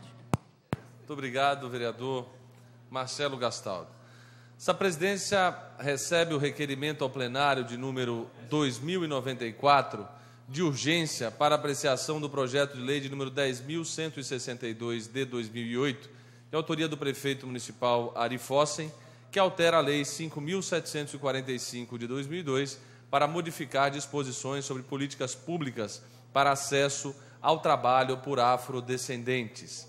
O requerimento vem assinado por esse presidente e mais cinco, mais dez assinaturas regimentais. São onze assinaturas. Isso significa que o projeto, após ouvida a Comissão de Justiça e Redação, poderá ser discutido por este plenário. Vamos colocar primeiro, então, o requerimento de urgência em discussão em votação.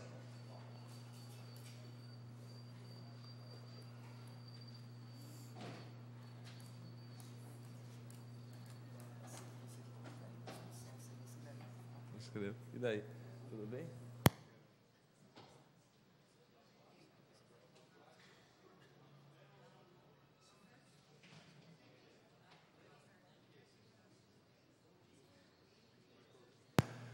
Com 13 votos pela aprovação, dois senhores vereadores ausentes e essa presidência que não vota, o requerimento está aprovado por esta casa.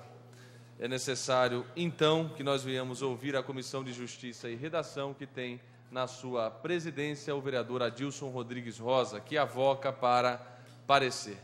Vereador Adilson Rosa, pela Comissão de Justiça e Redação. Claro. Senhor presidente, senhores vereadores, Parecer da Comissão de Justiça e Redação, projeto número 10.162, de autoria do prefeito Arifós, que altera a Lei 5.745 de 2002 para modificar disposições sobre políticas públicas para acesso ao trabalho por afrodescendente. O projeto vem instruído com parecer da consultoria jurídica da Casa, que aponta que aponta o vício de legalidade e inconstitucionalidade no referido projeto, mas conforme tinha dito, superado por essa relatoria, por essa presidência, tendo em vista a importância e o alcance do referido projeto de lei. Tem parecer favorável dessa presidência e solicito a Vossa Excelência consulte os demais membros da comissão com o parecer favorável do presidente e relator pelo projeto de lei de número 10.162 de 2008, na Comissão de Justiça e Redação, eu consulto os demais membros se há voto contrário em separado. E não havendo o vereador Gerson Sartori, acompanha o parecer. Vereador José Galvão Braga Campos, acompanha o parecer. Vereador Marcelo Gastaldo, acompanha o parecer. Vereadora doutora Silvana, também acompanha o parecer. Portanto, o projeto está apto para ser discutido e em discussão está. Com a palavra, a vereadora Ana Tonelli.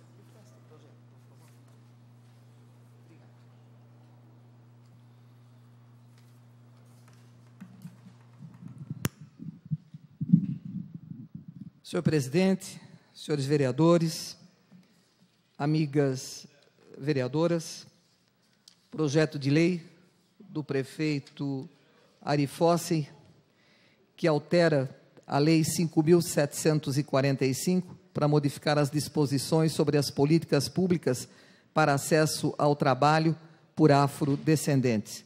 O caput do artigo 1 da Lei 5745 foi alterada e agora novamente ele altera e diz que o preenchimento de cargos e empregos nos órgãos da administração direta e indireta do município, obedecido o princípio do concurso público, far-se-á com a reserva de 20% das vagas para afrodescendentes.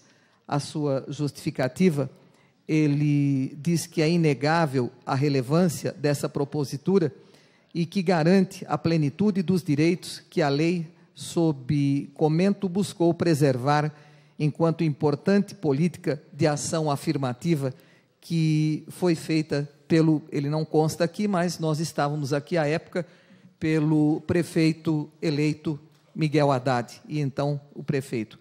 Eu peço licença, senhor presidente, que eu acho que tem tudo a ver, porque realmente os afrodescendentes, os negros, merecem toda a nossa consideração, todo o nosso apreço.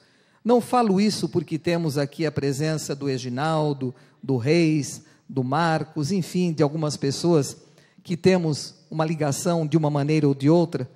Tenho ligações, inclusive, fomos um dos fundadores da escola de samba União da Vila, saíamos pelo 28 de setembro, quando o 28 deixou de sair de desfilar, foi fundada a escola de samba União da Vila. Eu tive a felicidade de apresentar nesta Casa de Leis e foi aprovado um projeto de lei instituindo no município o hino à negritude, de autoria do professor Eduardo de Oliveira, a quem também tivemos a oportunidade de conhecer. A luta dos negros, senhor presidente, ela é grande. O senhor que fez uma faculdade de direito, aprendeu muito, conheceu muito sobre a nossa história e eu não sei se o senhor conhece, se os vereadores conhecem a letra desse hino. Ela é muito bonita, se o senhor me permite. Ela diz o seguinte: Sob o céu cordianil das Américas, hoje se ergue um soberbo perfil. É uma imagem de luz que, em verdade, traduz a história do negro no Brasil. Este povo, em passadas intrépidas, entre os povos valentes se impôs, com a fúria dos leões, rebentando grilhões, aos tiranos se contrapôs. Pois tem o estribilho, ergue a tocha no alto da glória, quem herói nos combates se fez, pois que as páginas da história são galardões aos negros de altivez. Levantado no, te, no topo dos séculos, mil batalhas viris sustentou, este povo imortal que não encontra rival, na trilha que o amor lhe destinou, belo e forte, na tez cor de ébano, só lutando se sente feliz. Brasileiro de escol, luta de sol a sol para o bem de nosso país. E por aí vai, senhor presidente. É muito bonita realmente a letra, e isso mostra que realmente os negros no nosso país, eles precisam se sobreporem muito aos brancos para conseguir se sobressair, para conseguir os melhores cargos, os melhores lugares nas faculdades, enfim, na, na, magistratura, é difícil vermos um negro. Será que eles não têm inteligência suficiente para adquirir uma cultura? É óbvio que tem. O que lhes falta, com certeza, é uma oportunidade. Oportunidade essa que hoje o nosso prefeito Ari Fossen aumenta para 20% no caso dos concursos públicos na nossa cidade de Jundiaí. Senhor presidente, companheiros vereadores, essas as nossas considerações e temos certeza absoluta que o projeto será aprovado pela unanimidade da Casa dos Senhores Vereadores. Obrigado. Muito obrigado, vereadora Anatonelli. Continua em discussão o projeto. Com a palavra, a vereadora Marilena Negro.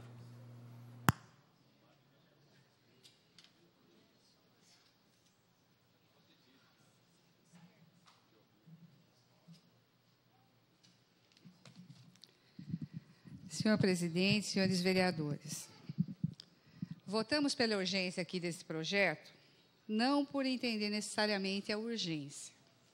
Para nós é muito óbvio que houve, não houve aí, e me parece intencional, o entendimento de que a empresa DAI é uma empresa pública de economia mista. Logo, ela tem que seguir as regras da administração pública, tanto para comprar que as regras da Lei 866 exigem, quanto para admitir o ingresso no serviço público, como reza a Constituição Federal. Então, essa vinda para cá, para deixar claro, cargo e emprego público, para voltar, para, para que a DAI se assegure de que vai cumprir a reserva das cotas para afrodescendentes e para portador de deficiência, para nós, ela é inócua porque o nosso entendimento é que a DAI falhou. Ela já devia ter cumprido isso no edital, como ela vem cumprindo na FUMAS. Porque os processos seletivos, inclusive na FUMAS, têm sido seguidos. E não precisou vir aqui uma lei na Câmara para corrigir que é cargo ou emprego público. Então, não é razoável que a gente faça toda essa encenação aqui para dizer que nós precisamos assegurar na lei. Então vamos, é legal assegurar na lei cargo, emprego público para todos ah, os segmentos da administração. Agora, nós queremos também deixar claro que dentro da administração, direta e indireta, é necessário, então, que se paute, para que nunca ninguém mais esqueça quem são os órgãos da administração indireta. Por isso, nós apresentamos uma emenda também, senhor presidente, no sentido de qualificar a empresa todos os órgãos da administração, direta e indireta do município, incluídas autarquias, fundações, empresas públicas, sociedades de economia mista, para o que nós pedimos que os vereadores também incluam no parágrafo dessa, desse projeto de lei e faça ficar claro para que ninguém jamais esqueça de que estamos num órgão de administração direta e indireta, e todos esses são personagens. Agora, tem a, o, o, outro item que nós não, não iremos suprimir, a gente tendeu a fazer uma supressão, que é o disposto nesta lei aplica-se aos concursos eventualmente em andamento, inclusive nos órgãos integrantes da administração indireta do município. Primeiro, porque eu acho que na, na lei a gente tem que, ela tem que avançar a partir da sua promulgação. E nós fizemos uma indicação para o senhor prefeito, hoje aqui está indo através da Câmara, também fizemos de ofício, encaminhamos aos segmentos aí da, que representam a comunidade afro, no sentido de que tem que se fazer um novo edital. Nós estamos recomendando ao senhor prefeito que faça um edital, que assegure gratuidade das, da, do pagamento das inscrições para quem já fez a inscrição no primeiro, para que ele tenha, para que ele possa fazer sua declaração de afrodescendente ou de portador de deficiência, e assim o, o, concurso prosseguir. Porque aí sim nós vamos ter um problema se simplesmente esta lei se aplicar a partir de agora para quem já fez inscrição e pode não ter feito a sua declaração, não ter tido esse entendimento. Então, nós fizemos, tivemos esse cuidado, porque. Eh, independente de prazos, né, eu acho que a coisa tem que acontecer de uma forma tranquila. E não podemos sofrer uma paralisação e as pessoas perderem o, o valor da sua inscrição por conta de uma ação imperfeita do legislativo que já a gente está tentando corrigir. Então, nesse sentido, senhores vereadores, nós entendemos aqui que o edital do, do concurso ele não fala da lei, que existe uma lei municipal que trata do portador de deficiência do ingresso. Não foi citada, foi citado apenas o decreto federal, que também dá o seu norte, dá o percentual correto, mas é uma lei aprovada aqui no, no Legislativo. Nesse sentido, nós também pedimos para que a DAI inclua nos seus editais a legislação municipal, seja para portador de deficiência, seja para afrodescendente porque nós estamos tratando de regulamentar as questões no município. Então, nada mais justo do que inserir no edital as regras relacionando a legislação municipal.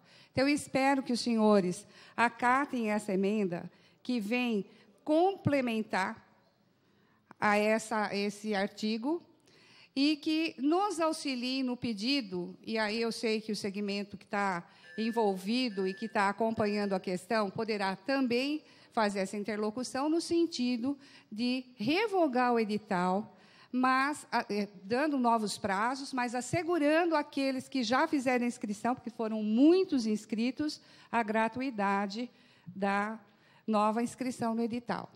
Aí sim nós teremos um processo tranquilo. Agradeço, senhor presidente, senhores vereadores, pela atenção e conto com a colaboração na aprovação da emenda da bancada do Partido dos Trabalhadores. Muito obrigado, vereadora Marilena Negro. Com a palavra, a vereadora Não, não, pela ordem, Pela ordem, a vereadora doutora Silvana. Eu, eu não acredito que tenha havido, por parte da administração, má fé ou coisa que o valha. Porque eu tenho acompanhado os concursos públicos de Brasília, inclusive alguns eu me inscrevi, e, e, na maioria dos concursos, apesar de ter portarias, editais, nós temos percebido que na hora da convocação existe uma, uma solicitação, eh, via judicial, inclusive, para que se faça valer a cota de negros, para que se faça valer a cota de deficientes físicos. Então, até nos concursos federais, senhor presidente, houve esquecimento desse decreto federal. Então, não acho que nem o governo Lula, nem o governo uh, da, da, cidade de Jundiaí, Arifosse, tenham feito isso por má fé, ou tenham feito isso uh, de forma a, a denegrir uh, as pessoas portadoras de deficiência física ou até os afrodescendentes. Ao contrário, eu acho que foi um, um, um esquecimento, eu acho que foi alguma, alguma coisa que, que tenha sido nesse sentido, mas que nós podemos corrigir e que será corrigida sem dúvida. Questão de ordem, senhor presidente. Muito obrigado, vereadora doutora Silvana. Questão de ordem, vereadora Marilena. Senhor presidente, eu não incluí na minha fala, mas acho que é oportuno colocar que existe concurso aberto, por exemplo, na Faculdade de Medicina, e como eu acompanho os editais dos concursos, de todos os concursos públicos de todas as entidades, a gente tem procurado observar se está sendo observado a, tanto no edital quanto posteriormente as chamadas. A Faculdade de Medicina não está incluindo cota para os processos de, de seleção para professor. Isso é sério, porque é, é um emprego público. É um processo seletivo público. Então, também teremos que fazer uma intervenção para, no sentido de corrigir e verificar o que está acontecendo, porque em outros segmentos da faculdade ela indica para as áreas administrativas e técnicas, ela tem indicado. Para a professora, a gente não vê. Então, e nós temos tido muito problema da prefeitura não, não acompanhar no posteriormente, não observar o ingresso a partir da abertura de vagas, na proporcionalidade colocada. E são inúmeras vezes nós precisamos fazer intervenção. Olha, nós não podemos, uh, porque um candidato uh, que está na, na classificação afro, também está na classificação geral, foi chamado, então não preciso mais chamar o afro. Está errado, tem que chamar.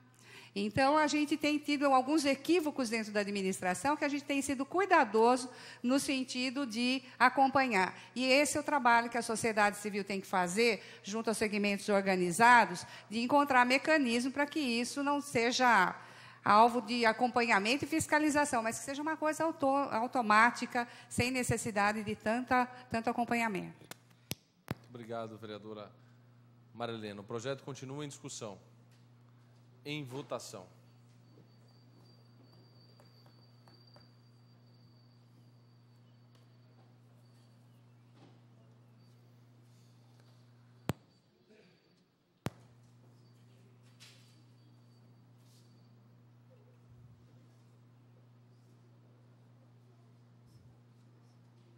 Com 13 votos pela aprovação, dois senhores vereadores ausentes e esta presidência que regimentalmente não vota, está aprovado o projeto de lei de número 10.162. É necessário também que nós venhamos votar a emenda de número 1 ao projeto de lei de número 10.162 da bancada do PT. Está em votação.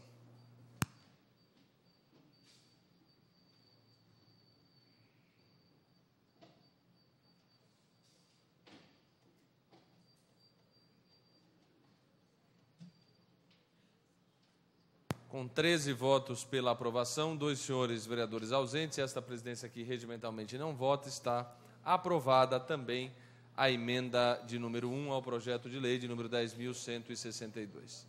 Agora sim, estamos com o projeto de lei aprovado.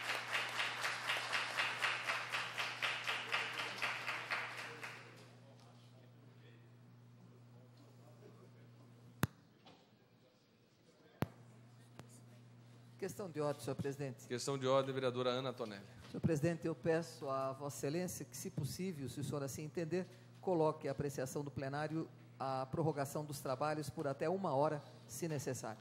Obrigado. Vamos então submeter ao plenário a prorrogação dos trabalhos por até uma hora, se necessário for. Em votação.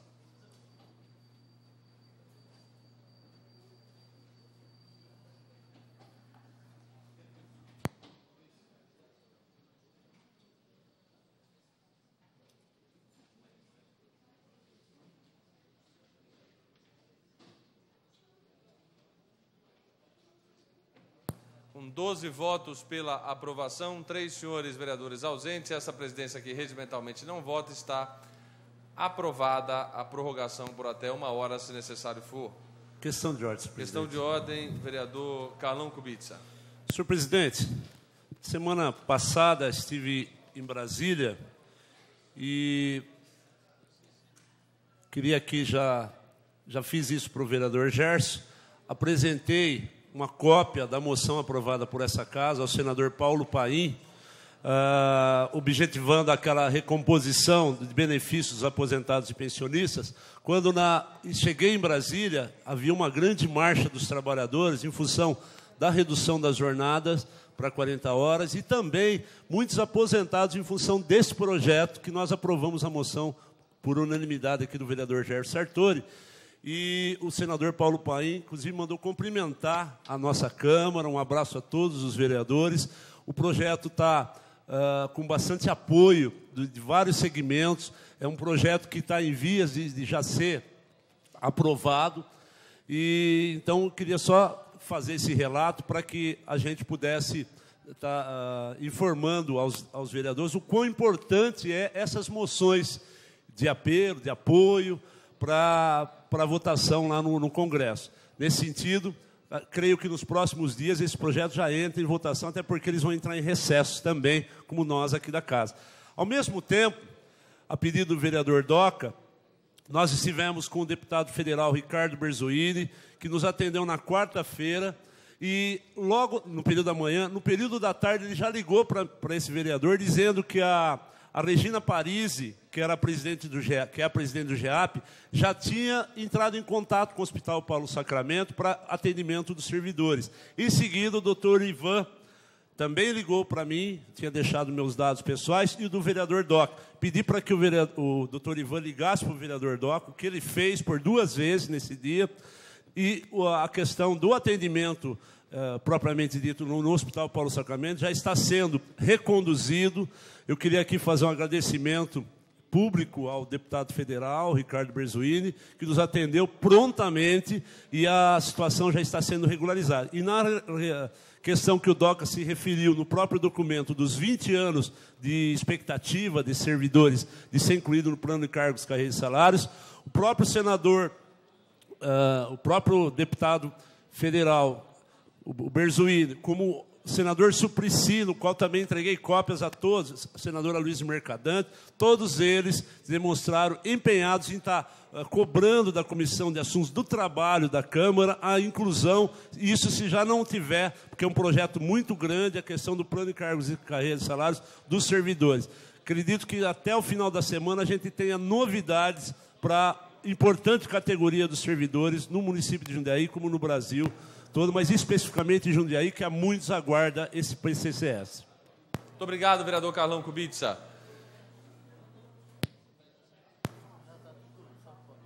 Vamos passar, então, à apreciação dos requerimentos. Questão de ordem, senhor presidente. Questão de ordem, vereador Val. Senhor presidente, gostaria de pedir destaque dos seguintes requerimentos: 2084, 2085, 2086, 2087, 2088 e 2089. Muito obrigado, vereador Val. Vamos então apreciar primeiro o pedido verbal de destaque do vereador Enivaldo Ramos e Freitas, vereador Val. Em votação.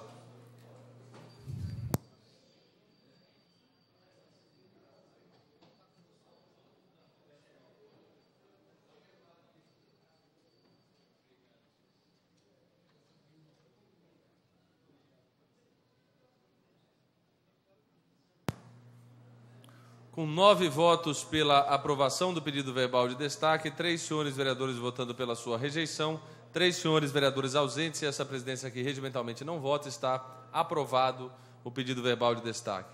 Os requerimentos serão discutidos englobadamente, depois votados em destaque e os não destacados. Está em discussão, estão em discussão os requerimentos com a palavra o vereador Gerson Henrique Sartori. Com a palavra.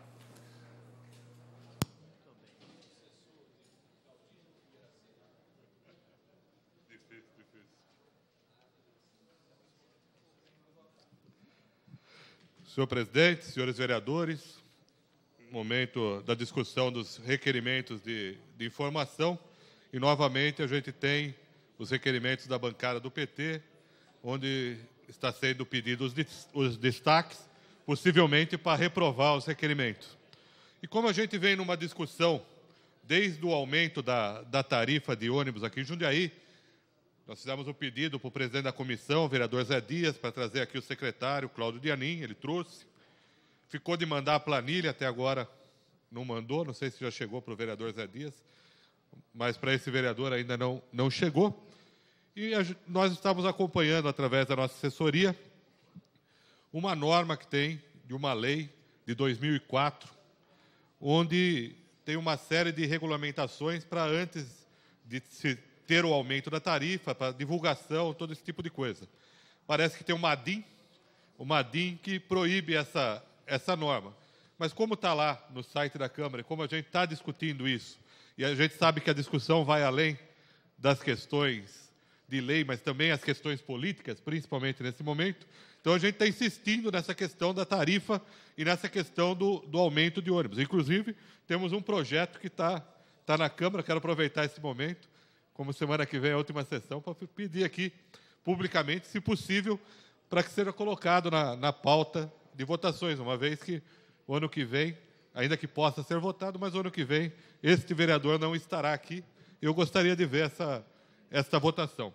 Então, eu estou fazendo aqui uma série de, de indagações à Secretaria de Trânsito e Transporte para discutir e continuar discutindo as tarifas. Quero dizer também, aproveitar, vereador Zé Dias, como a gente está falando de, de ônibus, ontem eu tive a, oportunidade de ir até o terminal central.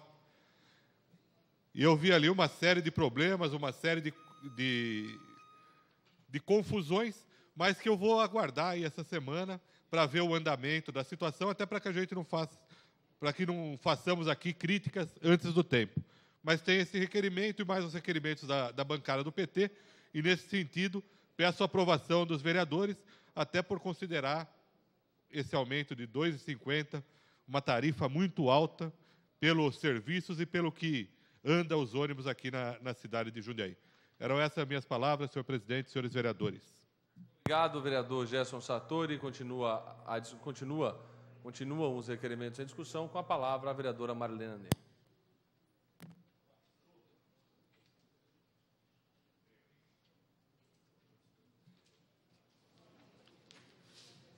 Senhor presidente, senhores vereadores, nós elencamos alguns questionamentos aqui, algumas indagações para o executivo, ainda na possibilidade deste ano conseguirmos obter informações, situações que chamam a atenção. Não é ser crítico, ser exigente, mas a gente quer saber de um, um aditamento de um contrato com a, a empresa Saúvas na manutenção de prédios escolares que é uma prestação de serviço contínuo, no valor de 541 mil reais. É meio milhão. Quais prédios escolares que estão sendo alvo dessas, dessas ações? Porque é um contrato estranho. A gente já fez o questionamento para o, Tribunal de Contas, porque inclui tudo: prédios escolares, complexos educacionais e almoxarifados correlatos. Aí eu vou lá, reforma a guarda municipal com dinheiro da educação. Será que é isso que está acontecendo? Eu pego, vou lá, reformo o Complexo Argos e dou uma destinação que não é para a área da educação. Então, a gente precisa ter essas informações. A mesma coisa, o valor da, contratado para o centro, para a reforma de calçadas, é uma questão que o contrato é 120 dias. E a gente quer saber se vai ser suficiente. Porque daí, chega lá, às vezes nem chegou os 120 dias, já tem um acréscimo de 25%, que é o, o que é estabelecido na lei, e o contrato é de R$ 1.213.854. E o cidadão está virando ano, está tá voltado aí para outras questões e não está percebendo que contratos estão sendo aditados em valores assim, sorretara, sorretara, sorre, já vou desistir dessa palavra. sorreteiramente, sorretaramente, sei lá. É, e uma questão também que a gente está querendo colocar aqui é uma questão da, da assistência farmacêutica. Se os senhores não aprovarem, vamos recorrer de outras formas. A assistência farmacêutica sendo feita pela SEMES, que é um órgão de assistência social, dentro de uma, de uma prefeitura que tem o serviço, uh, o SUS, na sua questão plena, de condição plena, tem que rever a assistência farmacêutica deslocada da área da saúde, como está, porque não existe visibilidade do serviço prestado pela SEMES, infelizmente. Entra como distribuição gratuita, junto com cesta básica e outros produtos. E isso tem que estar tá claro. Nós temos que saber quem é que vai receber e que tipo de medicamento recebe. E isso tem que estar no SUS. Tem que estar definido no SUS. Então, eram estas nossas questões que elencamos para esta manhã e pedimos a contribuição dos senhores vereadores nestas sessões finais deste ano que aprovem os nossos requerimentos. Obrigada, senhor presidente. Muito obrigado, vereadora Marilena Negro. Continua em discussão os requerimentos. Com a palavra, o vereador Val.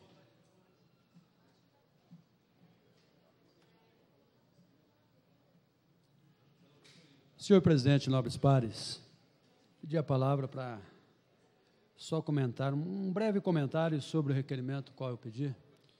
Informações do Executivo sobre renovação de contratos para realização de exames médicos. Muitas pessoas têm nos procurado porque a, a justificativa pela demora dos exames, senhor presidente, é que encerrou o contrato. Algumas vezes, e, e durante estes anos, estas é, infelizmente, repetiram essas situações. Até um aluguel, o inquilino tem que se pronunciar um mês antes para ver se vai continuar com o contrato, né? Agora, a saúde, uma coisa básica, nós esperamos terminar o contrato para depois sair fazendo é, aí a, o preço, licitação, cotação, para ver se o laboratório é aquilo, exame de imagem e tantas outras coisas. Esse requerimento é mais um apelo para nós mesmos, que somos da base de sustentação, para que não, não vamos deixar isso acontecer. Vamos ver, gente, está acabando o contrato de imagem, é coisa de primeira necessidade. A saúde está com problema em todo o Brasil. Mas Jundiaí tem uma administração tão séria, tem recursos. Se o contrato vai vencer o mês que vem, nosso povo precisa dos seus exames para cuidar da saúde. Não deixe o contrato vencer, mas vamos correr atrás e renová-lo antes. Exames de imagem, tantos outros tipos de exames necessários, principalmente para a prevenção. Ué, se não temos exames já em tempo hábil para detectar e diagnosticar as doenças em tempo hábil, cada vez vai onerar mais, não só os cofres públicos, mas a saúde dos nossos municípios. Então, apresento esse requerimento nesse sentido. Obrigado, senhor presidente. Muito Questão obrigado. de ordem, senhor presidente. Muito obrigado, vereador Val, pelas suas considerações. Questão de ordem, vereadora Marilena Negro. Eu gostaria de solicitar, senhor presidente, de a retirada dos requerimentos 2086 e 2087, por favor. Está deferido o pedido de Vossa Excelência, desculpa, para a retirada dos requerimentos número 2086 e 2087. Agora sim, vamos passar à apreciação dos requerimentos ao plenário. Primeiro, vamos votar os requerimentos em destaque. Volto a repetir, com a retirada da 2086 2087, a retirada, com a retirada, nós votaremos primeiro em destaque os requerimentos número 2084, 2085, 2088 2089. Em votação está.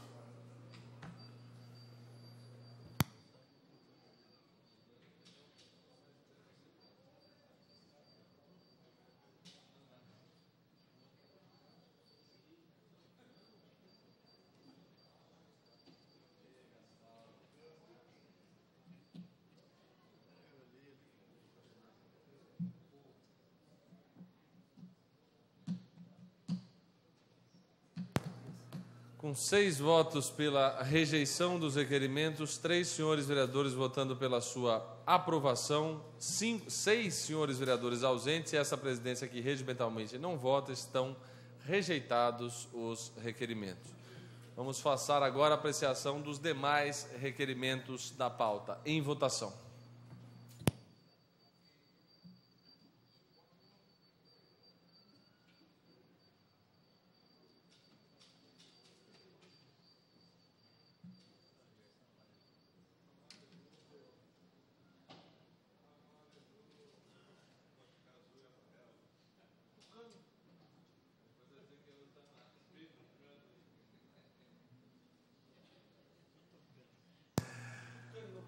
Sete vereadores votando pela aprovação dos requerimentos, três vereadores votando pela abstenção, cinco senhores vereadores ausentes e esta presidência que regimentalmente não vota, estão aprovados os demais requerimentos da pauta. Solicito aos senhores vereadores que registrem a presença para o início do grande expediente.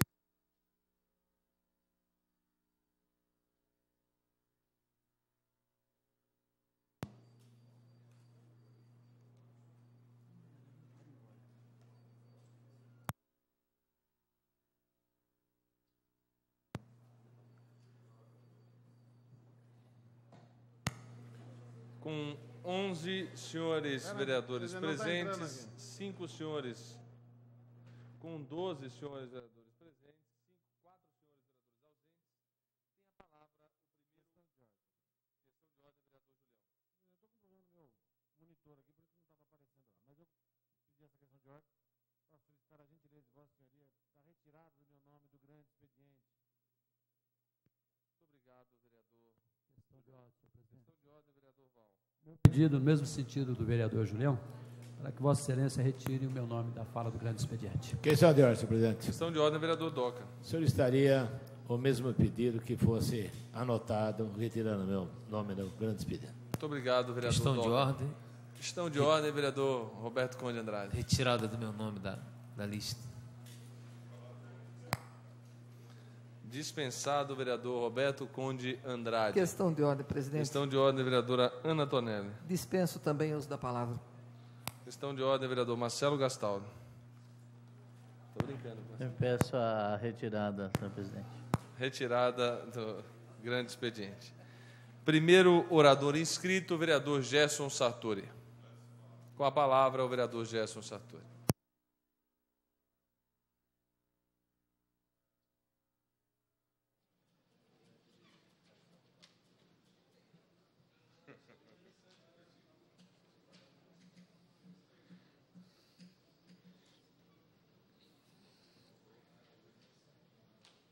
Senhor presidente, senhores vereadores, público que, que nos acompanha nesta manhã.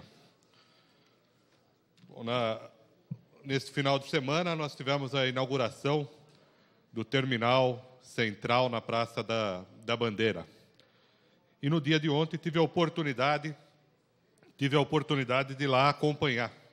E quero deixar aqui já bem claro que está ainda muito confuso. É lógico que tem adaptação, todas essas questões, mas está muito confuso e tem problemas seríssimos de segurança, o que nos preocupa. Então, nós estamos já fazendo, alertando e já também eh, entrando em contato com a Secretaria de Transporte, onde tinha vários amarelinhos lá, para que a gente possa estar tá, fazendo este acompanhamento. Uma outra, uma outra questão, também na questão de trânsito, é ali na Avenida 9 de Julho, onde o pessoal está sofrendo muito. Nós sabemos que tem, que tem obras, as obras têm que ser, ser feitas, foi iniciado, mas a gente vê ali que o pessoal não está trabalhando aos finais de semana, que poderia dar uma, uma maior rapidez. A gente vive agora o mês de, de dezembro. O senhor me permite uma parte? Lógico. Até para contribuir, eu, eu, eu entendo, vereador Gerson Sartori, assim como Vossa Excelência, que essas obras que são feitas durante o dia, elas podem muito bem ser contratadas e licitadas para serem feitas no período noturno. Causa um transtorno enorme ao comerciante, ao usuário da via local, um a, a- a todas as pessoas que se servem de uma via tão importante da cidade como a 9 de julho, poderiam exatamente ver a execução dessas obras no período noturno. Quero con- co- concordar plenamente com Vossa Excelência. Muito obrigado pela parte, presidente Luiz Fernando. E foi basicamente também o que aconteceu no viaduto da Duratex, que não trabalhava à noite. Então, são questões que eu acredito que, com um pouco aí de eh, vontade política, um pouco mais de empenho, eu acredito que a gente possa superar e possa estar facilitando a vida do, dos comerciantes, a vida dos moradores e da grande população de Jundiaí que utiliza avenidas como a 9 de Julho, como o viaduto da Duratex, quando estava, estava mexendo. Então, são, são questões que estão acontecendo na nossa cidade e que, no nosso, no nosso modo de ver, precisa ser aí melhor acompanhado. No, na semana que passou, eu estava falando sobre as questões políticas que que estão acontecendo na nossa cidade. Estava uh, fazendo e dando aqui algumas, algumas opiniões com bastante serenidade. Inclusive, quero continuar aqui da, da, onde, da onde comecei. A gente vive aqui um momento político na, na cidade, onde tem essas discussões. É, houveram aqui uma, uma série de ações e que houve o julgamento do juiz eleitoral aqui de Jundiaí, o julgamento pedindo cassação, pedindo novas eleições, uma série de questões. Nós sabemos que isso tudo pode ir para é, recursos no TRE, TSE, Supremo Tribunal, uma série de questões. Mas como fica toda aquela, aquela confusão, tem algumas opiniões de um lado, de outro, então eu estava dando, estou dando aqui a minha. Que é o seguinte: na minha opinião, não tem é, perseguição política por parte de juiz a candidato A, B ou C. Na minha opinião, o que houve, houveram foram ações provocadas por partidos políticos e pelo próprio Ministério Público e que o juiz julgou, acredito, e tenho as minhas convicções, que julgou baseado nas leis. Tem uma parte, vereadora Maria. E que poderia, vereador Gerson, ter julgado no período eleitoral, não fosse a ação do próprio PSDB, no sentido de dificultar ou de impedir o juiz de julgar as ações. Acho que a gente está vivendo um processo aí inacabado. O senhor me permite uma parte também? Lógico. A vereadora Marlena Negro, quando faz essa afirmação, ela não faz de boa fé a afirmação. Porque todo o procedimento judicial no Estado Democrático de Direito, ele precisa ser respeitado. E a exceção de suspeição que foi posta pelos advogados que são do PSDB é uma ação legítima e democrática, portanto, absolutamente legal. A exceção de suspeição se dá, vereador Gerson Sartori, quando um juiz tem a iniciativa do processo. E esta ação ocorreu no processo que, inclusive, já consta o parecer favorável pela Procuradoria Geral do Estado de São Paulo, através do seu procurador. Por quê? Porque o próprio juiz incentivou ao Ministério Público que tomasse a adoção de medidas relacionadas ao caso que foi extraído do site do PSDB e inserido num jornal de noticiário local. E todas as decisões do Tribunal Superior Eleitoral, elas vêm nesta direção de que um jornal, assim como rádios que não têm grande audiência, não interferem em resultados de eleição. Então, é esta a razão que a exceção de suspeição foi posta. E a exceção de suspeição só foi julgada ao término do processo eleitoral. Então, esta afirmação, ela é falsa esta afirmação ela não é correta. É como se eu, vereador Gerson Sartori, estivesse discutindo ordem, o direito presidente. que Vossa Excelência tem de recorrer nos processos judiciais que, porventura, Vossa Excelência vier a ter no futuro. Se Vossa Excelência entender que um recurso ah, juridicamente aceitável possa prosperar, o senhor tem toda a condição de impetrar esse recurso. E esta Questão foi a de situação posta. Então, não entendo por que a justificativa Questão de de dizer ordem. Que as cassações não foram julgadas antes do período eleitoral, porque havia um recurso. E nesse recurso nós tínhamos o direito legítimo e legal de impetrá-lo. Questão de ordem, Questão. vereadora o seu direito legítimo, o direito legítimo do cidadão está assegurado, mas teve uma consequência. Essa consequência foi com a população que está vivendo o, o final de um processo eleitoral que não acaba.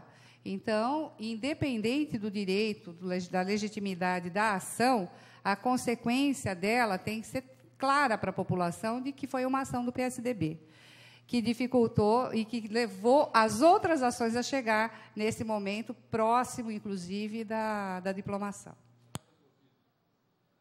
Obrigado pela parte, pela parte da vereadora Marilena. Eu acredito que esse tipo de debate ajuda a esclarecer. E longe de querer polemizar, mesmo porque não vai resolver nada, qualquer polêmica que nós fizermos aqui agora, até porque o, os jurídicos, a, as pessoas que tratam aí no, nos tribunais, com certeza estão tratando. Então, volto aqui a, a falar que é uma questão de, de posicionamento. Eu entendo o que o presidente Luiz Fernando falou, como também compreendo muito bem o que a Marilena disse, que é no sentido que se, é lógico que se tem um se ou um se, a coisa muda. Que se tivesse julgado esses processos anteriormente, nós poderíamos ter um outro resultado de eleição. Não aconteceu, como o presidente Luiz Fernando falou, é uma ação jurídica que foi tomada, portanto, foi tomada, a gente não tem o que fazer, juridicamente, mas politicamente, e como esclarecimento, a gente pode dizer que se não tivesse esta ação, que foi uma ação de tribunal, como as outras, poderia ter sido julgado antes e o resultado das eleições poderiam ser outro. Então, é nesse sentido que nós estamos procurando conversar, dialogar com a sociedade, dialogar com as pessoas que vêm nos perguntar: ah, o que, que vai dar, o que vai deixar de dar? Não sei, eu tenho, quando eu entrei, ou o partido entrou com alguns processos, o que nós entramos, nós tínhamos as nossas convicções, por isso que entramos. E é lógico que quem está defendendo tem as convicções deles. Então, nós vamos esperar serenamente a forma do, do, julgamento. E é lógico que, politicamente, nós temos as ações que nós vamos continuar fazendo, até por sermos um partido de, de oposição na cidade e por termos convicções do que nós estamos defendendo, nós estamos fazendo de maneira correta, de maneira muito séria, de maneira muito contundente até, discutindo com a comunidade. Porque a gente vem, vem sendo aonde vai. Ontem mesmo eu estava lá no, no terminal, Passei amanhã ali no, no, terminal vendo o movimento, que é uma discussão que eu venho fazendo ao longo do tempo, a questão do transporte, do, do trânsito em Jundiaí, e muitas pessoas vêm conversar, vêm perguntar. Então, tem uma, e existe uma instabilidade política que está ocorrendo.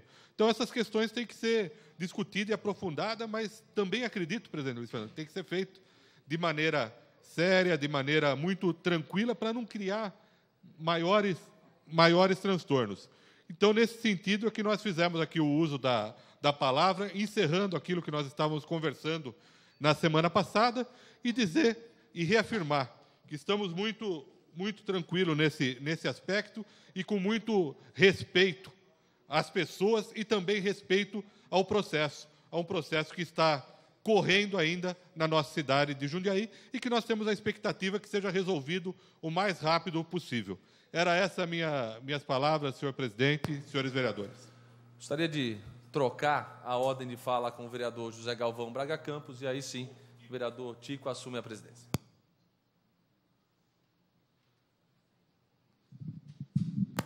Com a palavra, o vereador Luiz Fernando Machado, presidente dessa casa, vice-prefeito eleito pela nossa cidade.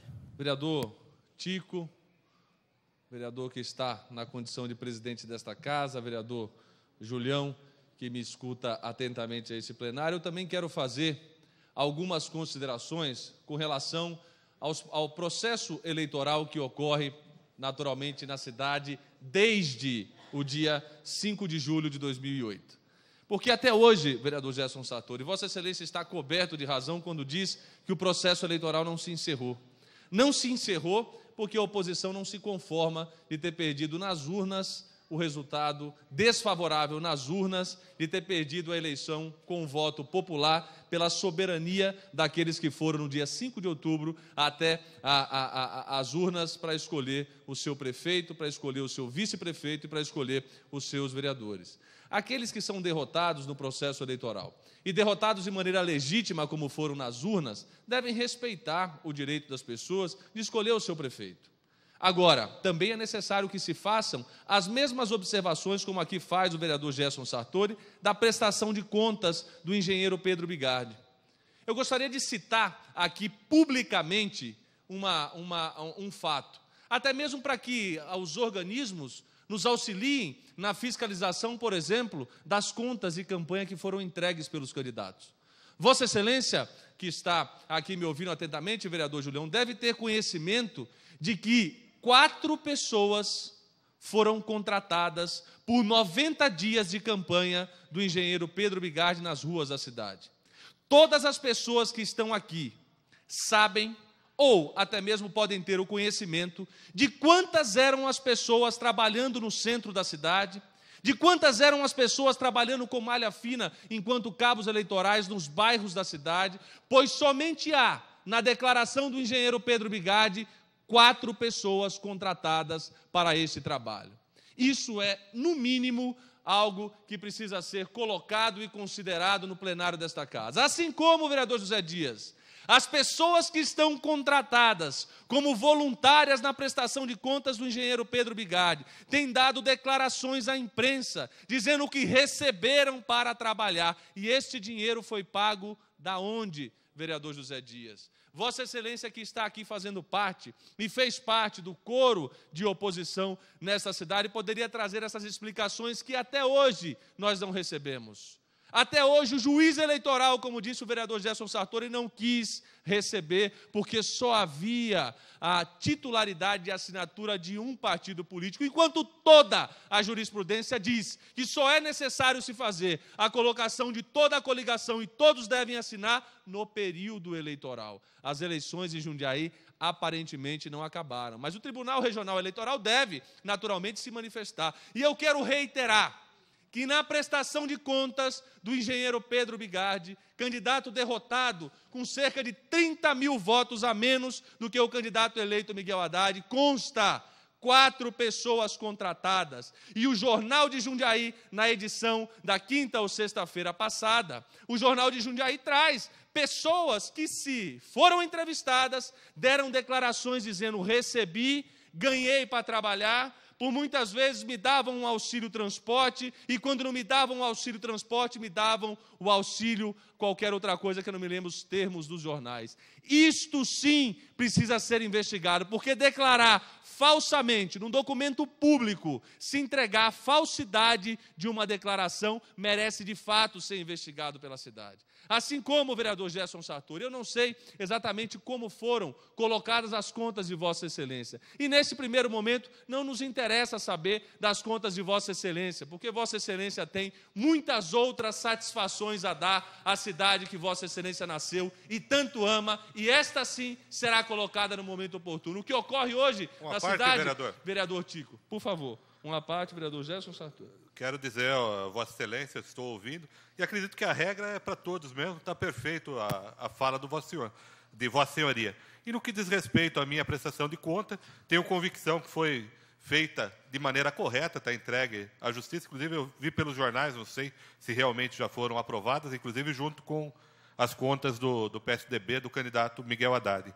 E as satisfações que tenho a, a dar ao povo de Jundiaí, estou sempre disposto a conversar, a dar e com muita tranquilidade de todos os meus atos como cidadão de Jundiaí, como pessoa que vive nessa cidade, que gosta dessa cidade. Então, com tranquilidade, estou à disposição do povo de Jundiaí e à disposição de, de Vossa Excelência, como é, colega aqui da, da Câmara Municipal de Jundiaí. Vossa Excelência terá o momento oportuno para fazer as suas considerações, assim como eu tive, vereador Gerson Sartori. Mas quero reiterar, quero reiterar que o ato que hoje se pratica indo ao fórum, que o ato que se praticou no sábado e reuniu cerca de 60 pessoas, nem os vereadores, a, a, a, presidente, todos da coligação que não se fizeram presentes no ato.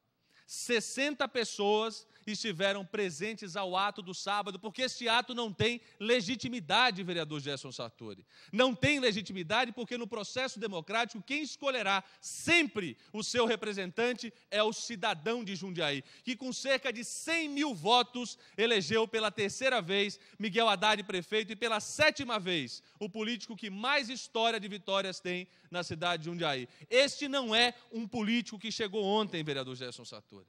Este não é um político que pode ter a sua capacidade eleitoral discutida da forma como estão querendo se discutir nas ruas da cidade. Esse ato, inclusive o ato de Vossa Excelência, vereador Gerson Sartori, aqui digo de público, de dizer que vai mobilizar as autoridades do Partido dos Trabalhadores em nível nacional para acompanhar o processo, é um desrespeito à magistratura brasileira. É um desrespeito à magistratura do Estado de São Paulo e é um desrespeito à magistratura da União. Porque somente quem pode Mas ter o- a titularidade para acompanhar processos judiciais são os advogados postos e os juízes que foram arduamente estudar para passar no concurso Mais uma público. parte, Eu vereador. entendo, vereador Gerson Sartori, que essa não é a consideração de um líder político como Vossa Excelência sempre se comportou nesta casa. Nós não iremos procurar nenhuma pessoa, nenhuma autoridade que não seja o nosso advogado constituído para interferir nos autos do processo, enquanto muitos querem ter interferência de políticos. A política é diferente da justiça. Por isso que aqui nesta casa nós tantas vezes nos deparamos com críticas à consultoria jurídica da casa, que só se atenta ao aspecto legal e jurídico e não ao aspecto político que esse plenário se manifesta. Então, algo de fato está acontecendo em Jundiaí. E todos nós devemos ter a capacidade de explicar publicamente de que aqueles que perderam a eleição querem ter uma segunda chance para disputar o processo eleitoral. Caso contrário, estariam aguardando até o último recurso, que pode ser, naturalmente, que a justiça ninguém entende como será o seu resultado, pode ser que seja desfavorável ao PSDB. Pode ser que nós venhamos a perder em todas as instâncias, mas é necessário que antes que nós venhamos perder em todas as instâncias, nós sejamos respeitados pela cidade de Jundiaí, assim como somos. Eu tenho diversas manifestações vindas da população de Jundiaí dizendo: se tivéssemos novas eleições, eu não votaria, porque o resultado das eleições está colocado nas urnas no dia 5 de outubro e quem se elegeu foi Miguel Haddad, com mais de 30 mil votos do segundo colocado, que não conseguiu vencer as eleições e é democrático isso. O John McCain quando encerrou-se as eleições americanas, vereador Gerson Sartori, ele foi ao seu púlpito, à sua tribuna, e fez a seguinte colocação: Hoje, os Estados Unidos da América elegeu o Barack Obama. Então, o Barack Obama é o meu presidente da República. No momento em que fez essa citação, não sei se Vossa Excelência se lembra, com o auditório lotado, onde John McCain fazia o seu discurso de derrota, ele foi vaiado. Mas ele disse: não, não vamos aceitar a vaia. Vamos aceitar o aplauso ao Barack Obama que venceu as eleições nas urnas. Coisa que em Jundiaí não se tem respeitado. Coisa que em Jundiaí não se tem feito. Respeitem a vontade das urnas. A vontade das urnas é Miguel Haddad prefeito. Desculpe, não concedi a parte no momento oportuno a Vossa Excelência. Só, só foi uma questão, eu dizia já na minha fala que é importante, porque tem opiniões diferentes, até para as pessoas fazerem a sua formação de opinião. É lógico que elas têm capacidade para isso, mas é importante o debate eh, neste momento. E quando eu falo do, das lideranças do, do PT acompanhar, deixei muito claro que realmente fui procurar apoio, não, não para cada um fazer uma sua inserção política, mas para fazer o debate. Por exemplo, o debate com o deputado, líder do PSDB na Câmara Federal, o, o Zé Aníbal. E também para que eles possam contribuir no sentido se necessário for, de uma parceria com grupos de advogado. Mas é lógico que eu também, assim como o senhor, nós respeitamos a justiça, porque senão não teríamos condições nenhuma de estar aqui debatendo. Mas é importante essa, essas falas, é importante esse diálogo com a comunidade.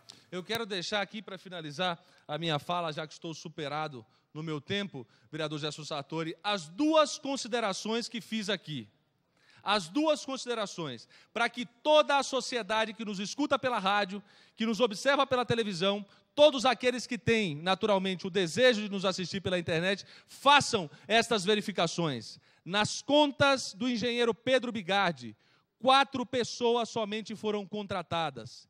E contratadas de maneira errada.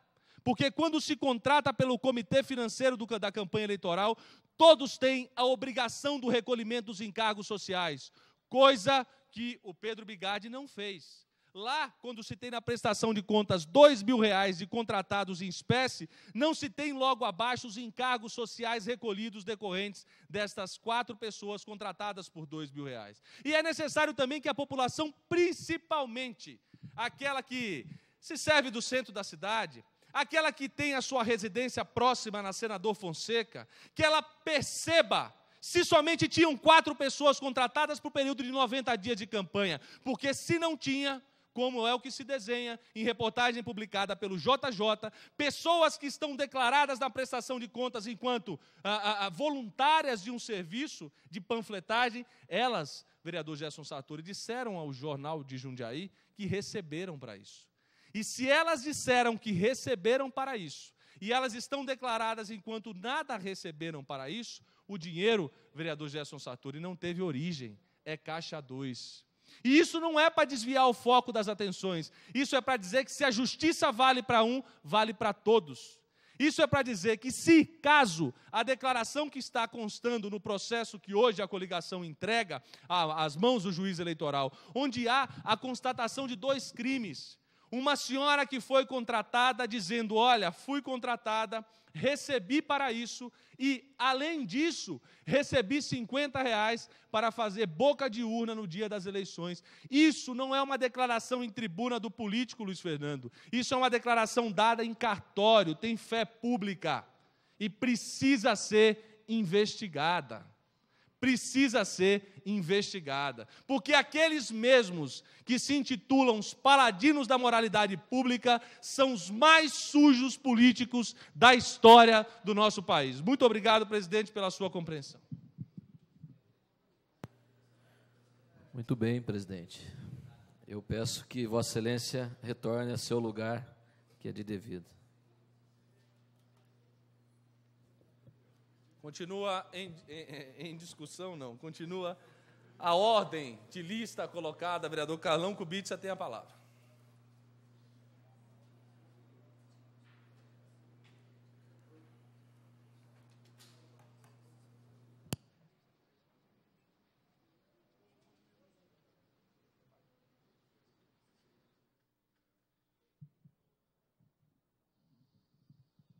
Senhor presidente, senhores vereadores, Faz muito tempo que eu não falo no grande expediente. Subo à tribuna no dia de hoje para dizer da situação que se encontra os serviços prestados pela DASA.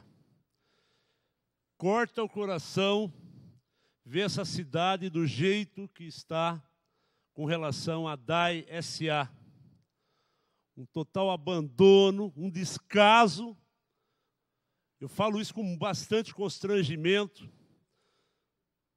32 anos de idade, nunca vi o DAI numa situação tão caótica como essa que hoje nós vemos na cidade. Lendo o jornal de hoje, na rua Rangel Pestana, altura do número 700, em frente ao estacionamento, quatro meses vazando esgoto e a DAI não resolveu o problema. Não é diferente. Emma Gosner em Voturucaia, 429. Cinco meses, já trocaram três vezes as placas, mas a, a erosão que formou em função de um vazamento de água que eu avisei o DAI, reclamei. Foram lá, arrumaram o vazamento, taparam o asfalto em, em cima do local que arrumaram a rede de água, só que o asfalto afundou durante todo o trecho que percorreu a rede de esgoto. Cinco meses, senhor presidente na Avenida Humberto Cerezer, em frente à panificadora ali, próximo ao açougue Veracruz. Vai para três meses já. Eles trocam a placa que está sinalizando o buraco e não faz o conserto. Nesse que eu falei da Emma Gozer, recentemente um tampão quebrou para cima do lugar que está assoreado.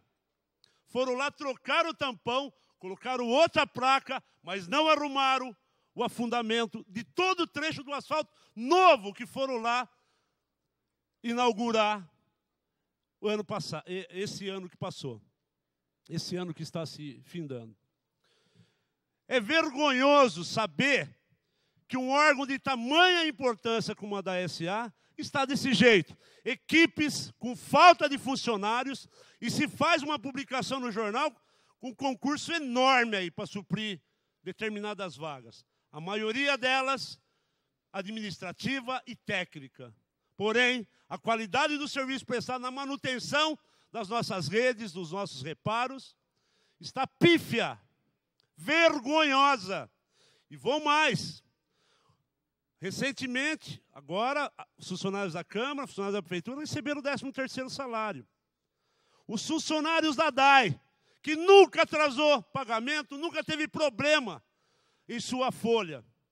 Muitos anos, inclusive, o DAI complementando folha de pagamento da própria prefeitura, devido à forma com que administrava antigamente, porque sobrava dinheiro. Hoje não tem mais dinheiro nem para pagar o 13 terceiro. Disseram que acham que vão pagar agora quarta-feira. Os funcionários já tinham assumido o compromisso com o 13 terceiro e não saiu o 13 terceiro. Espero que na quarta-feira saia, senão na terça-feira que vem vai tomar pau de novo o seu Eduardo Palhares e essa administração vergonhosa que nós estamos tendo lá dentro da DSA. Falo isso com dor no coração, porque durante todo o tempo que eu estive lá como funcionário, volto agora em janeiro, não me importa para onde vão me mandar, provavelmente vão fazer o que sempre fizeram depois das eleições, me isolar em algum canto, mas eu tenho hombridade. Eu tenho hombridade e vou cumprir, não vou pedir exoneração do meu cargo, não. Vou ficar na DSA me sujeitando àquilo que eles me ofertarem. É um desabafo, senhor presidente, senhores vereadores, me perdoem até o entusiasmo, mas eu não poderia deixar de falar na mazela que se tornou o DAI com relação à manutenção do nosso patrimônio maior, que é a água e esgoto, que se alardeia para os quatro cantos, 100% de água tratada e esgoto também coletado, tratado. Mas na realidade os nossos emissários estão vazando dentro de córregos, não se tem manutenção.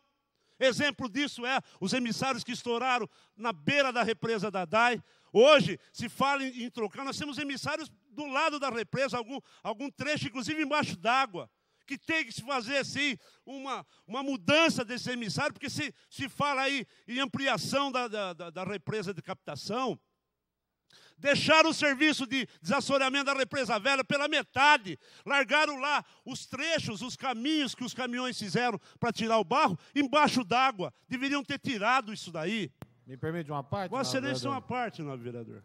O senhor, como engenheiro, e eu fui atrás dessa informação porque sou morador no Parque da Represa, que fica em frente à represa, e fui uma das pessoas que batalhou para que fosse desassoreada aquela represa, tendo em vista a capacidade de acumulação dela estar muito baixa.